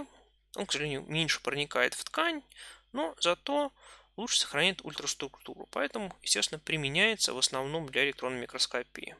Понятно, что для такого фиксатора блок должен быть небольшой, сантиметра здесь уже профиксировать нормально не получится. И глютаровальдегид, чем хорош, он еще фиксирует ДНК, фосфолипиды, коллаген, в общем, много других э, биологических молекул будет также зафиксировано. Есть и минусы. А, он очень сильно деформирует структуру белков, много сшивок – и поэтому значительно уменьшает иммуногенность. После такого фиксатора э, проводить иммунофлюоресценцию, иммуногистохимию достаточно сложно. Если будем говорить еще о иммунофлюоресценции, то еще одна проблема. Используемый глутаровальдегид очень-очень-очень сильную автофлюоресценцию дает. То есть после него, если не применять специальных методик, э, смотреть ткань напрямую будет сложно. Желтый, зеленый спектр будет полностью занят автофлюоресценцией. Ну и последнее. Блок должен быть небольшой, потому что проникновение в образец у данного фиксатора очень неглубокое. Следующий фиксатор, который иногда используется, э, фиксатор, который уже будет в своем составе иметь хлорид ртути. Опять же, э, использование ртути под большим вопросом сейчас, потому что понятно, что э, на здоровье оказывает ртуть явно негативное влияние, плюс открытый вопрос, как утилизировать потом фиксаторы. Напомню, что фиксаторы повторно использовать нельзя. Любой фиксатор, он расходуется во время обработки ткани, и после этого его, конечно, нужно утилизировать. Тем не менее, этот фиксатор, смесь хели, очень хороша для костного мозга. А, но есть и ряд проблем с ним, кроме ртути. Посмотрите, здесь в а, рецепте остается, опять же, формалин. Здесь остается а, сульфат натрия добавляется, добавляется дихромат калия. И неприятность, которая имеется, что этот фиксатор нужно хранить в виде двух компонентов. Первый компонент вот это, второй компонент вот это. И смешивать их нужно непосредственно перед изготовлением, перед использованием. Время фиксации небольшое, не больше 24 часов. И хлорид ртути, несмотря на все свои плюсы, дает пигмент, который нужно отмывать со срезов перед окраской. При этом, если у вас, например, блок парафиновый долго пролежал, отмыть этот пигмент будет уже очень сложно. Поэтому, может быть, имеет смысл а, отмываться от него как-то даже раньше. А ткань хранить в таком фиксаторе нельзя. После фиксации нужно промыть вашу ткань в воде и хранить в 70% уже этаноле в дальнейшем перед, скажем, дальнейшей обработкой. Тем не менее, очень хороший фиксаторами для костного мозга, сохраняет иммуногенность ткани, можно дальше работать и имеет свое использование. Есть еще один интересный фиксатор, который можно было бы, наверное, а, назвать таким третьим фиксатором, используемым в медицине. Это фиксатор Кларка. Очень простой фиксатор. Этанол и уксусная кислота. А, опять же, чтобы избежать неприятностей с тем, что ледяная уксусная кислота у нас прекурсор, можно его изготовить сразу же в такой смеси, чтобы не иметь здесь проблем. Этанола просто взять чуть-чуть побольше. А для чего этот фиксатор удобен и почему он используется? Он хорош для фиксации срезов с криостата или мазков крови. То есть вот вы сделали тонкий срез нефиксированной ткани или мазок крови, быстренько в этот фиксатор его поместили. Фиксация может быть на препарате на срезе очень быстрая. Он сохраняет нуклеиновые кислоты. Естественно, так этанол экстрагирует липиды. И две вещи, которые здесь очень удобны. А, во-первых, фиксация для тонких таких срезов быстрая. Главное не передерживать по времени, иначе э, все будет очень плохо. И так как здесь уже есть этанол, то после этого вы можете ваш препарат сразу переносить 95% этанол по протоколу, если вам нужно окрашивать, скажем, в красках спирторастворимых, или если вы хотите проводить как-то ваш блок дальше. Следующий фиксатор, о котором нужно сказать, он наиболее известен тем, кто работает, э, например, с лимфатической тканью, э, с тканью кроветворной. Это фиксатор так называемый B5. И, к сожалению, замены для него нормальной нету. Есть несколько коммерческих смесей без ртути, которые претендуют на то, что они могут фиксатор заменить. К сожалению, по отзывам пользователей не все так хорошо. Поэтому э, поговорим об этом фиксаторе классическом. Здесь используется, к сожалению, хлорид ртути, от него есть никуда не деться. Ацетат натрия не проблема. Формалин. И точно так же нам нужно раствор этот готовить непосредственно перед использованием. То есть вы храните вот такой раствор стоковый. Вы храните отдельно формалин и в дальнейшем вы смешиваете 2 к 20 раствор формалина и стоковый раствор, получая фиксатор. Время фиксации небольшое, больше 8 часов лучше не передерживать. Идеально подходит для лимфатической ткани, а, хорошо сохраняет ядра и хорошо подходит для специальных окрасок. А, при этом достаточно хорошо сохраняется иммуногенность, то есть для иммуногистохимии этот фиксатор тоже хорош. Так как у нас здесь есть хлорид ртути, опять у нас образуется пигмент, который нужно отмывать со срезов перед окраской. И нельзя хранить в таком фиксаторе. То есть так же, как со всеми фиксаторами с хлоридом ртути, после фиксации промываем в воде и храним уже в 70% этаноле. А, опять же, замены этому фиксатору пока без хлорида ртути достойного нету. Фиксатор, который используется чаще всего при работе с растительной тканью. Если мы говорим о ткани растения, то это фиксатор номер один. FAA.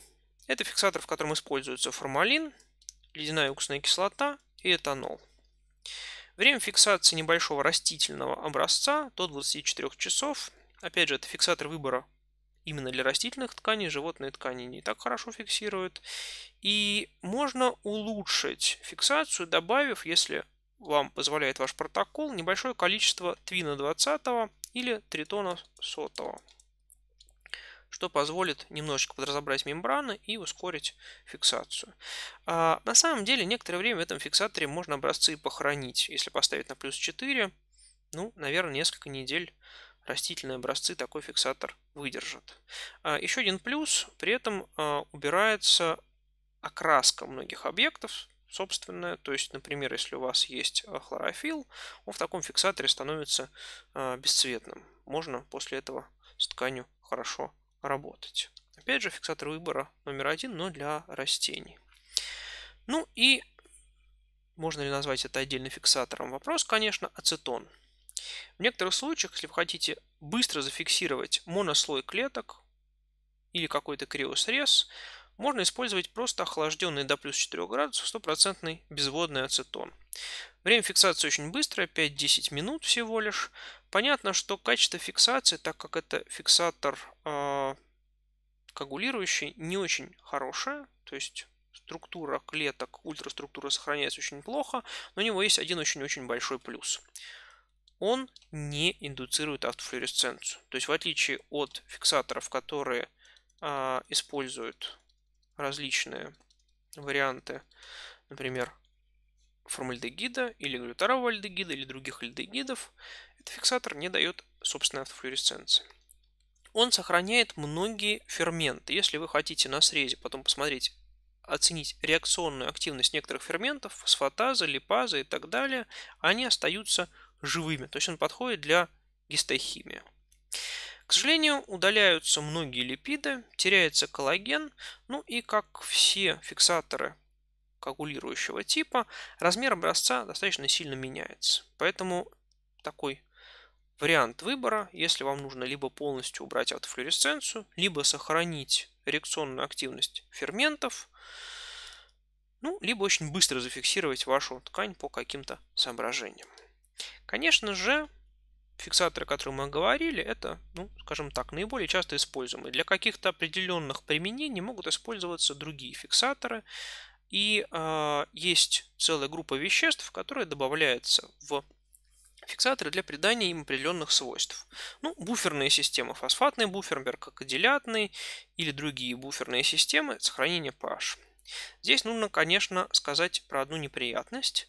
А, многие буферные системы нужно отмывать перед тем, как вы будете использовать высокие концентрации спирта. Например, фосфатный буфер, если вы сразу же перенесете ваш образец в 90% спирт, просто-напросто выпадет в осадок. У вас в ткани будут мелкие кристаллики фосфатов что, конечно, нарушит и качество ткани, и будет мешать резки. Поэтому, например, с фосфатным буфером и со многими другими солевыми буферами необходимо начинать проводку, скажем, с 70 или даже 50% спирта для того, чтобы фосфат успел раствориться в объеме. И опять же, объем для проводки вот этих спиртов брать ну, минимум в 20 раз больше образца.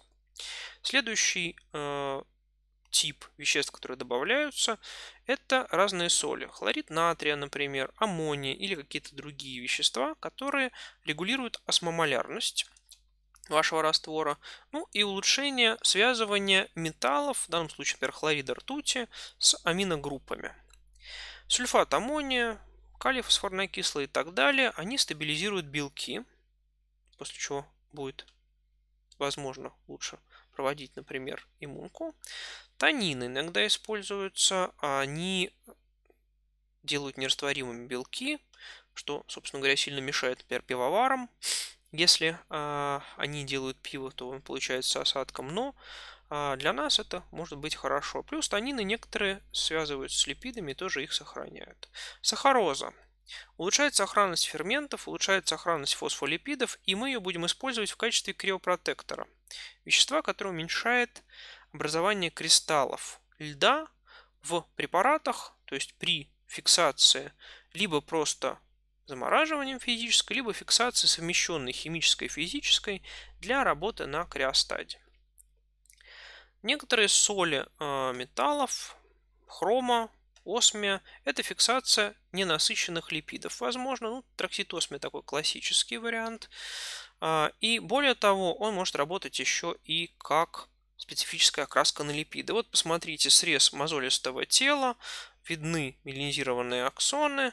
Ну и так как в меланизированных аксонах у нас много липидов, многие из них являются, например, те же самые стилхолины ненасыщенными, то вот черная окраска вокруг отдельных меланизированных волокон, это как раз тот самый осмий, который был связан с этими липидами и зафиксировал их, помешав им растворяться с одной стороны, с другой стороны еще и окрасил. Уксусная кислота. Отдельно как фиксатор ее лучше не использовать, но если ее использовать совместно с другими фиксирующими агентами, она может противостоять съеживанию материала. В принципе, сюда можно добавить еще такие вещества, как, например, фенол, который будет уменьшать переуплотнение материала. Ну и Опять же, этот список не является исчерпывающим. Это, ну, скажем так, для объяснения, что еще может быть добавлено. Естественно, все эти вещества могут использоваться, и тогда, кроме рассмотренных фиксаторов классических, которые мы с вами обсудили, есть еще целый набор фиксаторов специальных для определенных тканей, для определенных животных, для определенных методов дальнейшей обработки тканей. Какие рекомендации можно дать по фиксации материала? Ну, во-первых, фиксировать сразу после извлечения. Постмортальный интервал должен быть минимизирован. Чем он меньше, тем лучше у вас будет дальнейшая работа. Например, некоторые рецепторы, рецепторы, например, к эстрогену, очень быстро разрушаются, и, конечно, тогда постмортальный интервал очень сильно будет влиять на то, сможете ли вообще что-то потом увидеть. Если вдруг фиксация невозможна, то нужно остановить процессы деградации просто охлаждением до, скажем, плюс 4 градусов. Замораживать нельзя, потому что при этом будет образовываться кристаллы льда и ультраструктура ткани повредится. Но вот такое охлаждение, оно позволит продлить время, когда у вас будут сохранны еще ваши белки, но отсрочить время наступления самой по себе фиксации. Если вы вдруг работаете с скажем, человеком или даже с дикими животными, то здесь нужно учесть возможность опасности свежей нефиксированной ткани. А, как вы помните, любая ткань человеческая или из таких источников считается а, возможно инфицированной, и с ней нужно работать со всеми предосторожностями. Нельзя позволять ткани до фиксации и во время фиксации высыхать, потому что высыхание, тоже удаление воды, тоже вариант фиксации, но со значительным повреждением микроструктуры ткани. Нужно быть очень аккуратным при манипуляциях с тканью, то есть не пережимать, не давить ее какими-то инструментами, потому что это будет влиять на микроструктуру. Обязательно вместе с вашим образцом не поленитесь поместить небольшую бирочку если нету специальных бирок, то можно сделать просто обычную бумагу, на которой написать обычным карандашом, ни в коем случае не химическим, не ручкой. И вот такая вот бумажка с обычным карандашом, прицепленная к вашему блоку, либо к марлечке, в которой блок лежит, она выдерживает все фиксаторы практически, практически всю обработку, и дальше вы ни в коем случае уже не перепутаете а, ваш образец с какими-то другими образцами, потому что надпись на банке может смыться, наклейка отклеится, а если внутри банки есть вот такой вот небольшой бумажный ярлычок, он уже никуда не денется. Опять же, вы видели, что выбор фиксатора вещь нетривиальная. В основном мы пользуемся забуфером формалином, если у нас нет других каких-то требований. Но правильный выбор фиксатора для дальнейшей обработки позволит а, получить лучшие результаты. А, нам нужно создать условия, чтобы фиксатор равномерно проникал со всех сторон. Что это означает? Ну, во-первых, мы с вами говорили, что соотношение объема фиксатора к нашему образцу 1 к 20 минимально. Плюс, если мы образец положим вот таким образом, и нижняя часть окажется контактирующей со стаканом. Понятно, что в данном случае будет со всех сторон проникать фиксатор, кроме нижней стороны. И фиксатору понадобится больше времени для того, чтобы такую ткань профиксировать. С другой стороны, если вы подвешите вашу ткань, например, в мешочке, то проблему у фиксатора в такой мешочек со всех сторон проникнуть не будет. Или если вы будете слегка покачивать вот этот стакан с вашей тканью из стороны в сторону, да, делать какое-то очень а, аккуратное перемешивание, изменение давления можно сделать, микроволновое излучение или еще что-то, оно позволит этому нашему образцу, например, переворачиваться внутри этой баночки, и тем самым а, фиксатор будет проникать со всех сторон. Опять же, если есть возможность использовать перфузию или диссекцию органа, да, несомненно. Адекватное время фиксации. Здесь э, более-менее понятно несколько вещей. Ну, во-первых, э, мы с вами посмотрели, как можем посчитать, на какую глубину фиксатор проникнет за какое время. А, понятно, что для некоторых фиксаторов хранить ткань прямо в фиксирующих растворах уже нельзя. Нужно переносить, например, 70% спирт. Температура. Адекватная температура для фиксации для большинства образцов в формалине комнатная. Если вы потом храните в формалине ваши образцы долговременно, ну плюс 4. Ну и последнее. Растворы для некоторых методик нужно готовить непосредственно перед фиксацией, они портятся. И повторное использование фиксатора, оно невозможно. В силу нескольких причин, как то расходование образца и возможность контаминации следующих образцов веществами из предыдущего образца. Кроме фиксации, в некоторых случаях для некоторых тканей необходим процесс декальцификации, то есть удаления кальция. Понятно, что в случае костей у нас его будет достаточно много, но в некоторых случаях в тканях образуются кальцификаты в ответ на внешнее воздействие, и их тоже нужно убирать. Резко таких образцов, если кальций будет оставаться, естественно затруднена, и можно проводить процедуру удаления этого кальция. Если у вас небольшая кальцификация, она может быть убрана а, кислотами уксусной, пикриновой или, например, муравьиной кислотой. Помните, некоторые фиксаторы, о которых мы говорили, содержат эти вещества в своем составе. И таким образом просто инкубация в этих фиксаторах уже способна слабую кальцификацию убрать. Если же у нас кальцификация сильная, то после фиксации мы можем использовать ряд веществ. Во-первых, кислоты, ашхлор, муравьиную, уксусную, пикриновую, точно так же азотную, лимонную. Во-вторых, можем использовать хилаторы кальциевые, например, ЭДТА или ИГТА. И совсем в некоторых случаях сложных можем использовать еще электрофорез, который позволит нам убрать кальций гораздо быстрее. Это делается сразу же после фиксации, потому что если мы будем декальцифицировать ткань нефиксированную, структуру мы потеряем, ну а в дальнейшем будем уже делать проводку ткани и убрать кальций будет затруднительно. Давайте теперь попробуем посмотреть, что мы можем с тканью после фиксации сделать. И какие ткани можем использовать для получения срезов с разных микротомов. Ну, обычный микротом нам можно использовать только с тканью, которая заключена в какую-то среду. В большинстве случаев это парафин, и это 95, я бы сказал, процентов времени это обычная заливка парафин. Раньше была популярна для некоторых образцов ткани заливка в целоедин. А, к сожалению, она имеет свои минусы, требуется а, достаточно специальный протокол, можно делать только тонкие срезы. А, поэтому сейчас заливку в целоедин, ну, наверное, только для некоторых нейробиологических исследований, может быть, еще используют. Тем не менее, появились дополнительные пластики, LR Техновид, которые можно использовать для такой резки, для получения тонких срезов, например, срезов толщиной 1 микрон, 5 микрон и так далее. А есть еще водорастворимые пластмассы, ПЭК, ну, кстати, метилметакрилат, техновид, да, это одно и то же на самом деле. И э, вот такие образцы, залитые в твердую среду, можно использовать для обычной микротомии комнатной температуры. Для криостатирующего микротома можем использовать фиксированную замороженную ткань, несомненно.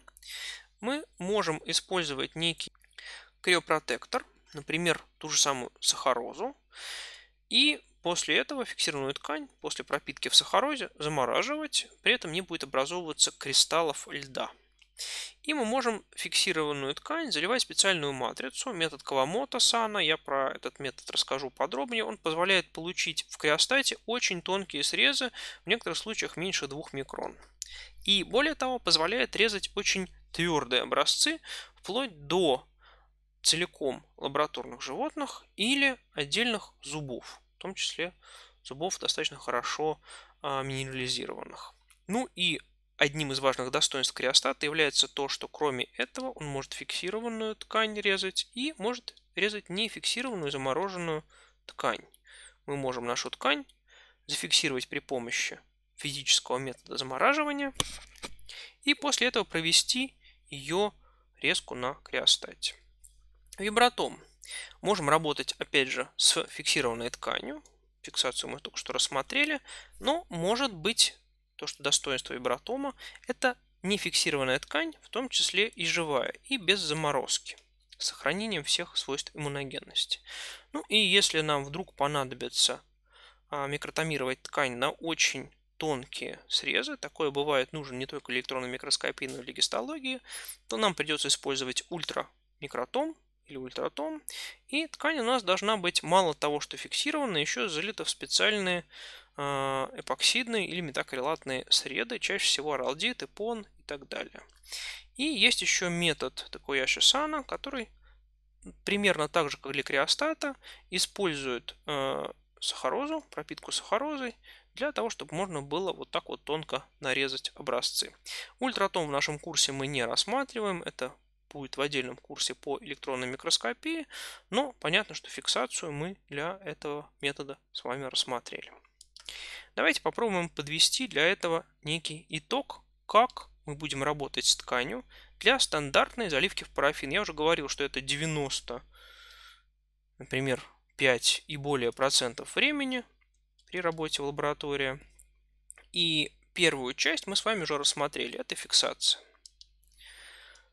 После фиксации нам нужно наш образец каким-то образом заключить в специальную среду, на которой мы сможем с вами резать наш блок. Это, к примеру, тот же самый, пускай будет э, парапласт, или пускай это будет э, какой-нибудь парафин.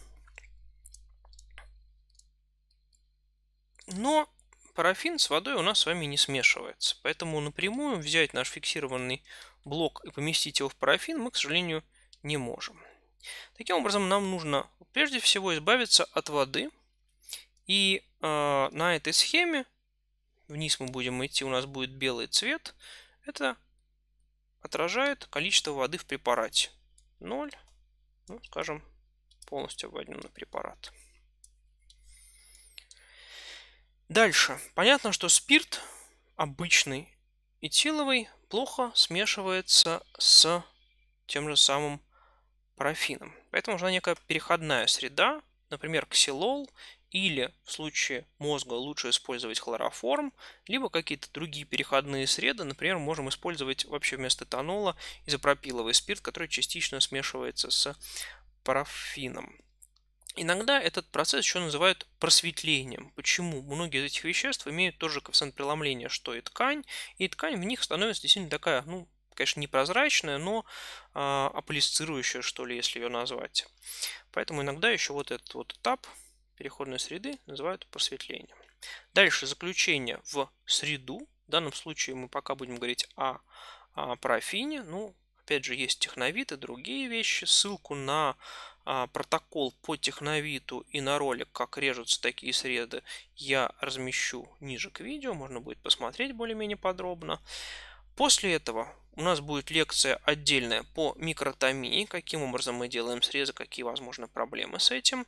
И понятно, если мы собираемся теперь наши образцы окрашивать, а, очень небольшое количество красок можно было бы использовать напрямую с парафином. И нам нужно наш образец либо довести до спирта, есть некоторые краски спирта растворимые, либо до воды, то есть регидратировать. По восходящей батарее вначале мы будем использовать вещество, которое растворяет парафин. Это может быть э, ксилол, это может быть толуол, это могут быть некоторые другие вещества, их заменяющие. Дальше спирты, вода. После этого мы производим окраску, будь то иммунофлюоресценция, иммуногистохимия, все что хотите. И если мы говорим о стандартном дальнейшем пути препарата для гистологических окрасок, нам нужно опять препарат дегидратировать. Почему? В воде препарат будет казаться мутным из-за того, что коэффициент преломления воды и препарата различается. Плюс в воде препарат не может долго храниться, рано или поздно какой-нибудь э, биологический объект там замечательно поселится и будет наш препарат разрушать. Таким образом, две проблемы. Первое – коэффициент преломления, второе – сохранность препарата. А, и у нас есть некоторое количество веществ, обладающих, во-первых, соответствующим коэффициентом преломления. Например, тот же самый канадский бальзам, который в свое время использовался для склейки стекол, в том числе для оптики. Или сейчас чаще используются а, различные вещества, которые называются, там, например, гистомаунт какой-нибудь, а, DPX и им подобные.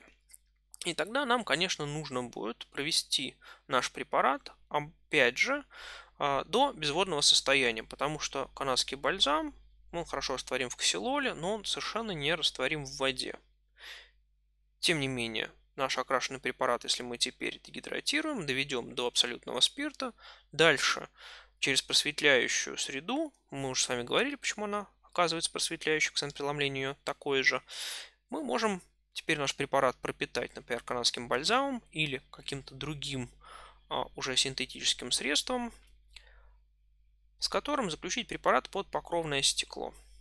При этом еще один плюс, что многие из этих сред, опять же, то же самое канадский бальзам, они застывают, тем самым превращая наш препарат в постоянный. То есть, как видите, движение нашего препарата, многократный переход из водной среды в, в среду максимально безводную и обратно.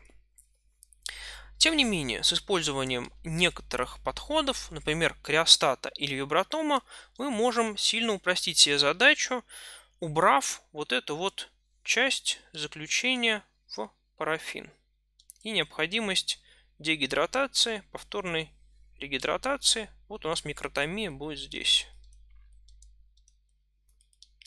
А, конечно же, есть недостатки у криостатирующего микротома и вибратома, мы о них поговорим. Тем не менее, дальше можем напрямую после фиксации наш срез использовать для окраски, например, гистологической, либо иммунофлюоресценции, иммуногистохимии, чего хотите. И дальше два варианта. Либо мы все-таки идем дальше на постоянный препарат при помощи заключения в например, тот же самый канадский бальзам, или можем не уходить сильно из водной среды, использовать для заключения 80% а, глицерин. Наиболее часто используется 80% глицерин для флуоресцентных исследований, так как многие флуорохромы в безводной среде а, не очень хорошо флуоресцируют, их нельзя использовать в таком виде. Таким образом, использование криостата или вибратома могут нам сильно уменьшить время, как необходимо для получения препарата, хотя, конечно, качество препарата при этом будет меньше. Ну, давайте вернемся к стандартному протоколу с использованием замещения э, воды на спирт с переходной средой, с заключением в э, уже парафин. И давайте посмотрим, какие при этом протоколы можно использовать.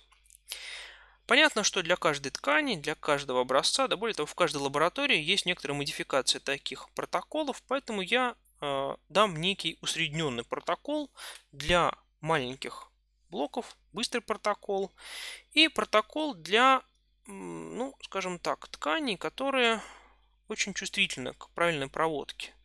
Мозг, эмбриональная ткань, ткань глаза. Быстрый протокол в основном любят использовать в медицинских учреждениях, потому что э, время, затрачиваемое на такой протокол, может быть достаточно небольшим. За один рабочий день можно получить уже залитый в парафин блок, и более того, даже его порезать и покрасить. А здесь первые этапы – это фиксация, всего за 2 часа фиксация происходит. В случае а, опять же, протокола медленного, фиксация здесь не упомянута, и дальше мы идем уже после фиксации Э, с фиксированным образцом на отмывку, прежде всего от, например, буфера. Посмотрите, у нас здесь этанол и формалин. А, при этом формалин можно взять уже с меньшим количеством, например, буфера, чтобы отмыться, например, от фосфатов, чтобы дальше при проходе ниже у нас не было выпадающего осадок, а, не выпадающих осадок солей а, фосфора. В быстром протоколе мы в дальнейшем делаем через этанола обезвоживание. Здесь обезвоживание мы делаем тоже через этанол, но гораздо плавнее. Плюс в некоторых случаях для тканей, склонных к переуплотнению, мы можем добавить например, 4% фенол. Следующий этап. А, просветление. у нас есть здесь всего лишь два ксилола для просветления. В этом же протоколе у нас это сделано гораздо более сложно. Во-первых, смесь спирта с касторкой, чтобы не использовать абсолютный спирт, чтобы не было переуплотнения. Дальше касторка, касторка, хлороформ, хлороформ. И вот на самом деле еще хлороформ с парафином. Вот это все, это можно назвать этапом как раз таки просветления. И следующий этап пропитка парафином. Здесь он достаточно быстрый, но тут нужно обратить внимание на вот это время, которое будет находиться в ксилоле и более того в горячем парафине.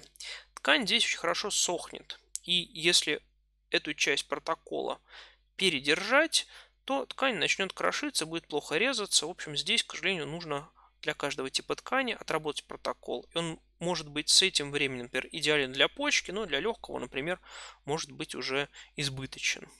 В случае с медленным протоколом здесь используется хлороформ, который, как ни странно, предотвращает вот такое переуплотнение ткани. И здесь наиболее важным этапом, где желательно не задерживаться, будет этап хлороформ парафина и парафина. Более того, в медленном протоколе, если мы теперь будем говорить уже про заливку, давайте возьмем следующий цвет. Вот заливка у нас форма. Смотрите, здесь мы использовали парафин достаточно горячий, 60-градусный. Здесь, так как ткани более нежные, мы используем 56 градусов, и нужно брать именно парафин, тогда получается, ну, условно говоря, легкоплавкий, который может при 5-6 градусах быть достаточно жидким. Ну и последний этап, который у нас остался, это, собственно говоря, заливка формы, либо в кассеты, либо в специальные формы для того, чтобы сформировать блок, пригодный для микротомирования. Давайте посмотрим теперь на эти этапы и на возможные ошибки, которые здесь могут быть при такой проводке. Ну, прежде всего, например, мы этап пропустили гидрота... дегидратации, и у нас образец оказалось, что содержит достаточное количество воды. Понятно, что парафин с водой не смешивается, и то, что мы с вами получим, это вот такой вот блок, который при расправлении на воде будет как бы растворяться. Плюс в совсем уж запущенных криминальных случаях, вы видите, у нас парафина как бы вываливается, то есть он к нему не прицеплен. Он плохо режется, мнется. Чаще всего бывает ситуация, что по краю он очень хорошо пропитался, и края препарата режутся хорошо, а центр препарата как раз не режется, он слишком мягкий. Ну и на водяной бане тогда в случае такого препарата в центре где-то будет расплывающаяся вот такая дырка. Следующее, что может быть обратная ситуация. Образец может быть передержан в денатурирующих жидкостях, в дегидратирующих жидкостях, э, может быть передержан в парафине, может использоваться слишком горячий парафин, и образец переуплотнился. И тогда, после того, как вы такой образец порежете, его резать будет сложно, он будет крошиться, вы получите вот такую вот картинку, где у вас очень много таких как бы трещин, пустых мест внутри препарата. В принципе, есть варианты, как можно попытаться такой препарат спасти, но лучше, конечно, отработать протокол вначале на какой-то кусочке ткани, не очень важном, подобрать время, которое вы будете и температуру парафина использовать, и ксилол. Это два места, где переуплотнение особенно хорошо выражено. Возможно, здесь придется как-то менять тогда протокол. Теперь, сама по себе заливка, мы еще о ней поговорим более подробно в следующих лекциях, когда дойдем до работы с парафином и с микротомом. Есть несколько а, моментов, если вы работаете с кассетами. А, кассета это будет использоваться и как держатель вашего блока в микротоме. Поэтому, если у вас будет слишком мало парафина в кассете, а, у вас блок может немножечко отклеиться и как бы держаться на вот такой вот трещинке парафиновой. Тогда срезы в микротоме у вас будут идти через один, блок будет плохо держаться на кассете, иногда отваливаться. Если же вы сделаете слишком много парафина, вам будет очень сложно закрепить такую кассету. Опять же, блок будет слишком высоко над кассетой расположен. Да, у вас будет еще парафин, и вот только он. И, соответственно, срезы также будут получаться плохо. И тогда нужно будет использовать правильное количество, мы об этом еще поговорим, парафина. Следующая проблема, которая может быть здесь. Э, использовать нужно для заливки объем ванночки, объем кассеты или углубление, которое у вас есть в форме для заливки, достаточное, чтобы края блока из парафина не выступали, потому что иначе при резке они будут выкрашиваться, они будут плохо сохраняться, мяться. В общем, заранее нужно подумать о том, чтобы размер блока еще при фиксации был подходящим под вашу кассету, либо в обратном случае, чтобы кассета у вас была подходящая под ваш размер блока. Ну, предположим, мы хорошо порезали наш образец, мы еще поговорим о том, как это сделать. Следующий этап, который у нас будет, это окраска. Опять же, по окраске наверное, будет отдельная лекция, но сейчас мы рассмотрим наиболее распространенный вариант классической гистологической окраски, так называемую рутинную окраску, это гематоксилин И1. Все остальные варианты окраски, которые окрашивают не все ткани, а какие-то определенные их части, это так называемые специальные окраски. Ну, и специальных окрасок какие можно назвать? Три хрома различные. Мэнсона, Гамори, Малори и так далее. Пентахромы. Окраски, которые позволяют окрасивать липиды, масляный красный, например. Окраски, которые являются аналитическими реакциями на железо. Прусский синий, например. А окраски, которые выявляют амилоиды. Конго красный плюс поляризационная микроскопия. Для медицины особенно важны различные окраски, которые выявляют э, возможные патогены. А, например, бактерии, например, грибы. И вот для клеточ... клеточной стенки грибов окраска по гридле хорошо видна. В некоторых случаях интересуют э, полисахариды. Есть, соответственно, специальные окраски на гликоген. И если мы говорим о нервной системе, то тут есть уже не окраска, а так называемая импрегнация, загрузка нейронов солями серебра, импрегнация по Гольджи. Ну и окраска на вещество Нисля для нейронов, это гликопротеины и эндоплазматический ретикулум, это кризиловиолетовый, в некоторых случаях толудиновый синий. Если мы говорим о растительных тканях, то тут тоже есть Окраски специализированные. Например, колозу можно покрасить анилином голубым и использовать флюоресцентную микроскопию. На танины можно использовать окраску с веществами такими как дмака или ванилином. Ну и, соответственно, они будут окрашивать тогда находящиеся в растениях проантоцианидины, танины и так далее. Каким образом окраска, в данном случае рутинная, работает и что такое краска гистологическая? Большинство красок это некие органические соединения с ароматическим кольцом, которые похожи на краски для обычного текстиля, например, для джинсов, для окраски э, каких-то тканей э, из того же самого хлопка, к примеру. И окраска это взаимодействие молекулы, которую мы с вами используем, окрашенной, а причем это взаимодействие может быть совершенно различное. Это может быть ионное взаимодействие, ковалентная связь, координационная связь, гидрофобно-гидрофильное взаимодействие с определенными химическими группами в образце. Чаще всего в качестве таких групп выступают карбоксильные группы, аминогруппы, фосфор в составе ДНК и так далее. Сразу же важное замечание. Цвет – это ни в коем случае не физический феномен, это феномен восприятия. И более того, один и тот же самый цвет, который мы видим, может формироваться а, совершенно разным спектром – а, и подробнее мы поговорим об этом в лекции по микроскопии. Тем не менее, можем разбить молекулу красителя на несколько частей. И а, краски, если мы говорим о обычных нефлюоресцентных красителей, это вещества, которые избирательно поглощают часть длин из спектра. То есть представим, что у нас есть некий спектр какой-то лампы. Здесь у нас будет длина волны, здесь будет интенсивность. И спектр нашей лампы выглядит как-то, например, вот так. То краска, она может из этого спектра только вычесть какую-то часть или вычесть несколько частей спектра. За счет чего вместо белого света, как было бы, если бы вся вот эта часть а, была бы у нас видна, вместо белого света мы получим свет, в котором вот эти вот длины волн были убраны. И за счет этого у нас Свет уже будет окрашенным нам казаться каким-то цветом. Так вот, в составе молекулы красителя можно выделить, собственно говоря, хромофор. Это та часть молекулы, которая задает цвет. NO2, хиноновые кольца, гетероциклы очень часто поглощают в видимом диапазоне спектра и достаточно узко.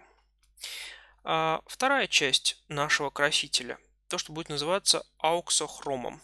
Это то, что задает селективность нашего красителя, позволяя ему при помощи различных взаимодействий связываться с какими-то группами а, наших молекул интереса в образце. Ну и в некоторых случаях можем с вами использовать модификатор. Чаще всего это соли некоторых металлов. Никель, хром, кобальт, к примеру, часто используются. Иногда более экзотические соли. они за счет связи с хромофором могут менять цвет молекулы. Например, сдвигать ее поглощение в какую-то сторону, чаще всего в красную. И, соответственно, сдвинув вот это поглощение, можем получить для нашей молекулы другой цвет, более, скажем, нам удобный для окраски. Теперь, если мы будем говорить с вами о тех группах, которые обеспечивают селективность, мы можем разделить краски, например, по их сродству кислым и основным структурам внутри нашей клетки. Что у нас внутри нашей клетки есть кислое? Ну, во-первых, у нас с вами, если мы будем так говорить, а, опять же, нужно сделать небольшое замечание о некоторой путанице терминологической. Это название кислый и основной красок и кислых и основных молекул в составе нашего образца. А, таким образом, если у нас есть, к примеру, структуры основ, основанные, то есть щелочные, с NH2 группами, то краситель, который их будет красить, будет называться кислым красителем. Ну и классический пример такого кислого красителя – это иозин. Вот такая некая мясномер, если хотите. Краситель у нас кислый, но красить он тогда будет, как ни странно, основное соединение в нашей клетке. Ну и, соответственно, обратное верно. Основной краситель у нас будет красить кислые структуры внутри клетки, ну, например, нуклеиновые кислоты, а, какие-то белки, богатые больше COH группами и так далее. Ну и, соответственно, основной краситель будет красить структуры, которые будут называться базофильными, то есть структурами, которые любят основные красители. А кислый краситель будет красить структуры, которые будут называться ацидофильными или иногда, так как применяется иозин, иозинофильными. Плюс еще одна путаница в названии компонент. Иногда некоторые красители называют нейтральными. При этом такой нейтральный краситель это на самом деле не краситель, который нейтрален с точки зрения кислотности. Это краситель, который содержит оба компонента. И, соответственно, окраска у вас может быть различная, в зависимости от того, какой компонент этот краситель окрасил. И так, кислые красители будут красить нам основные структуры. Основные структуры будут окрашены кислые бесцветные. Типичный представитель иозин, эозинофильные структуры, цвет, ну, скажем так, розоватый. Основные структуры Соответственно, основной краситель будет красить нам кислые структуры, они будут окрашены, основные будут бесцветные. Ну и классическими красителями можно назвать гематоксилин металл комплекс и фусцин и многие другие. Давайте поговорим тогда вот об этих двух классических а, соединениях гематоксилин и азин и об этой окраске. Что такое гематоксилин? Это вещество, которое добывается из сердцевины ствола вот такого красивого растения. Картинка взята с Википедии. И внутри ствола, для того, чтобы сдержать рост и разрушение ствола за счет патогенных микроорганизмов, откладывается вот такое вот вещество полифенольной природы, которое называется гематоксилин. И на самом деле сам по себе гематоксилин, он не может использоваться в гистологии, он не очень хорошо будет окрашивать наши ткани.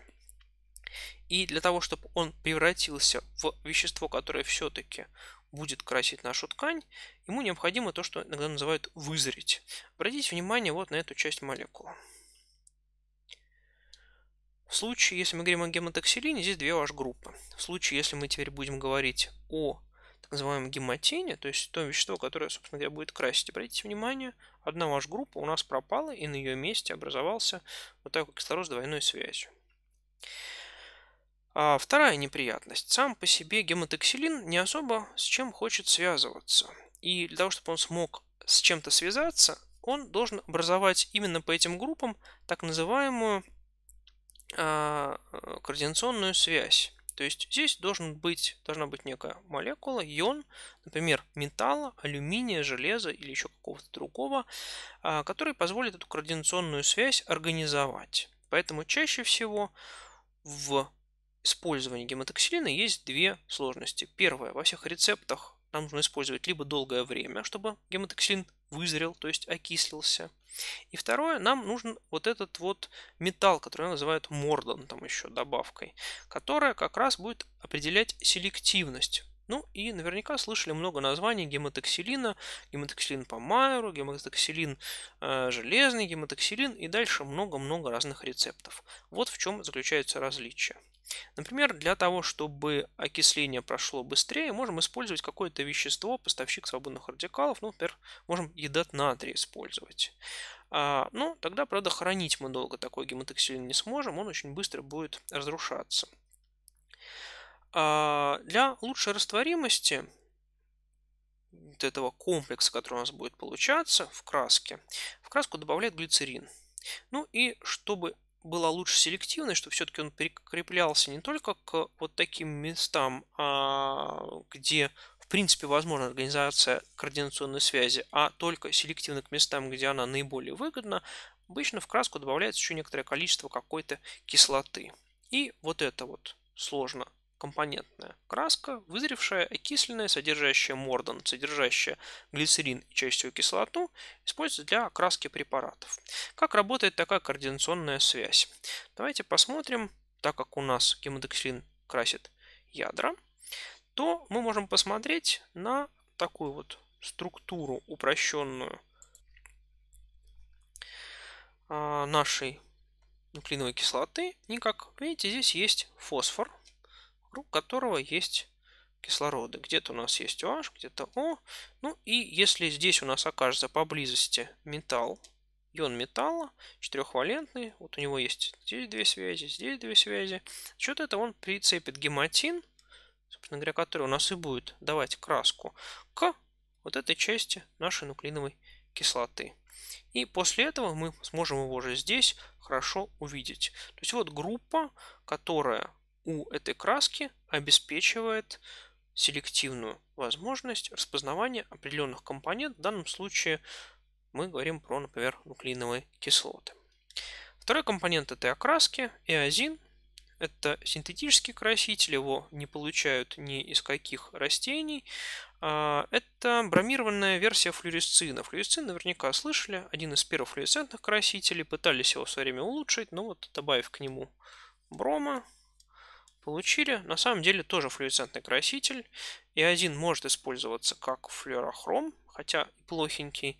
Более того, он еще очень хорошо генерирует свободные радикалы при освещении, поэтому его можно использовать как плохой флуоресцентный краситель, генерирующий свободные радикалы для некоторых специальных методов исследования. Используется водный или спиртовой раствор эозина. И водный раствор э, имеет вот такую рецептуру от 100 мг до 500 мг на 100 мл дистиллированной воды. А, для улучшения селективности, на самом деле растворения, обычно добавляют некоторое количество кислоты. Например, вот можно уксусную кислоту добавить, в некоторых случаях можно добавить совсем-совсем немножечко соляной кислоты.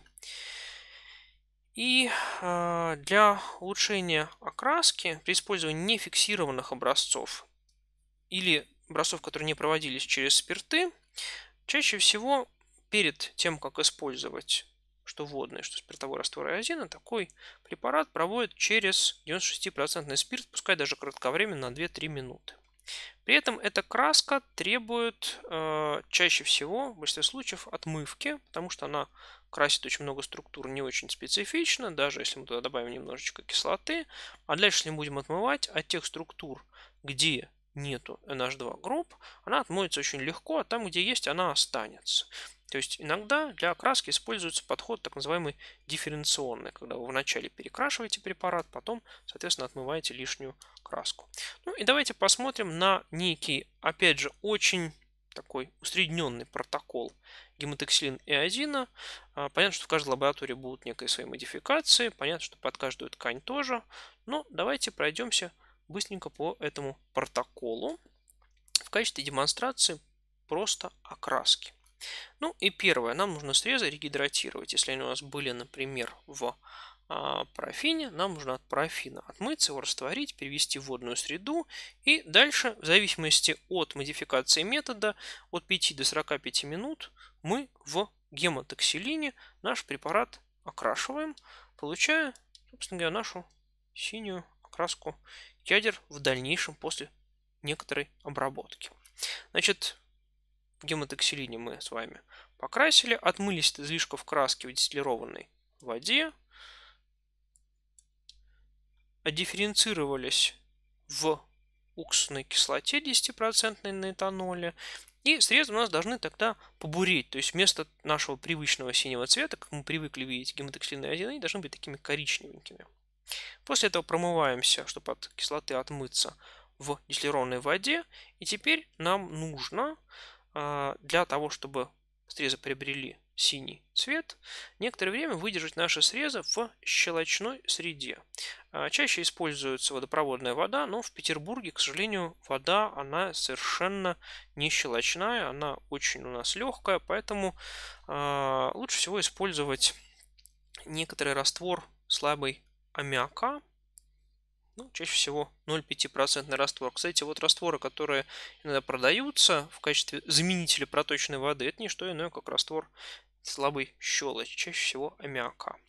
Как определить, что в данном случае все у вас завершилось? Срезы должны посинеть, вместо бурых или коричневых они должны стать нормальными синими, как должны быть. Отмываемся от аммиака в воде и дальше красим в эозине. В зависимости от того, какой у вас эозин, какая у вас ткань, в некоторых случаях она красится очень хорошо, поэтому, ну, может быть и 30 секунд в некоторых случаях достаточно.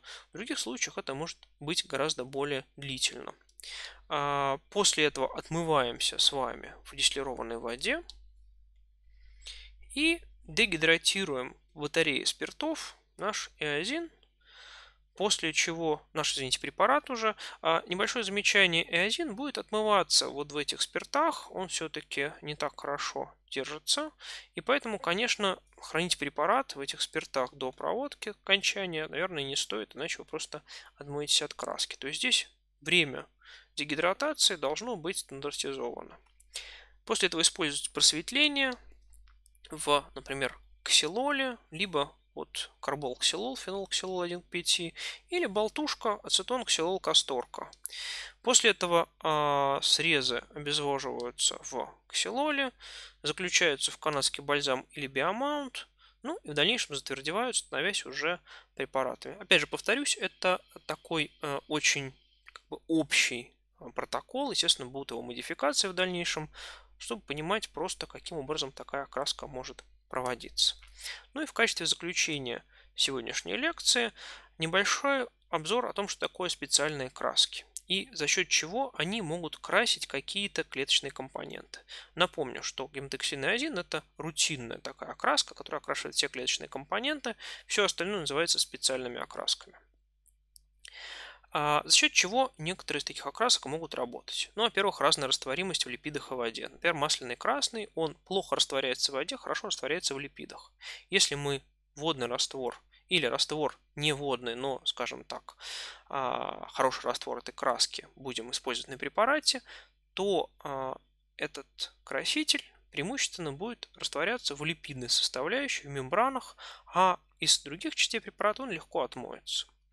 Другой вариант специальной окраски. Селективная качественная аналитическая реакция. То же самое прусский синий, это на самом деле качественная реакция на металл, которую вы наверняка знаете из неорганической химии.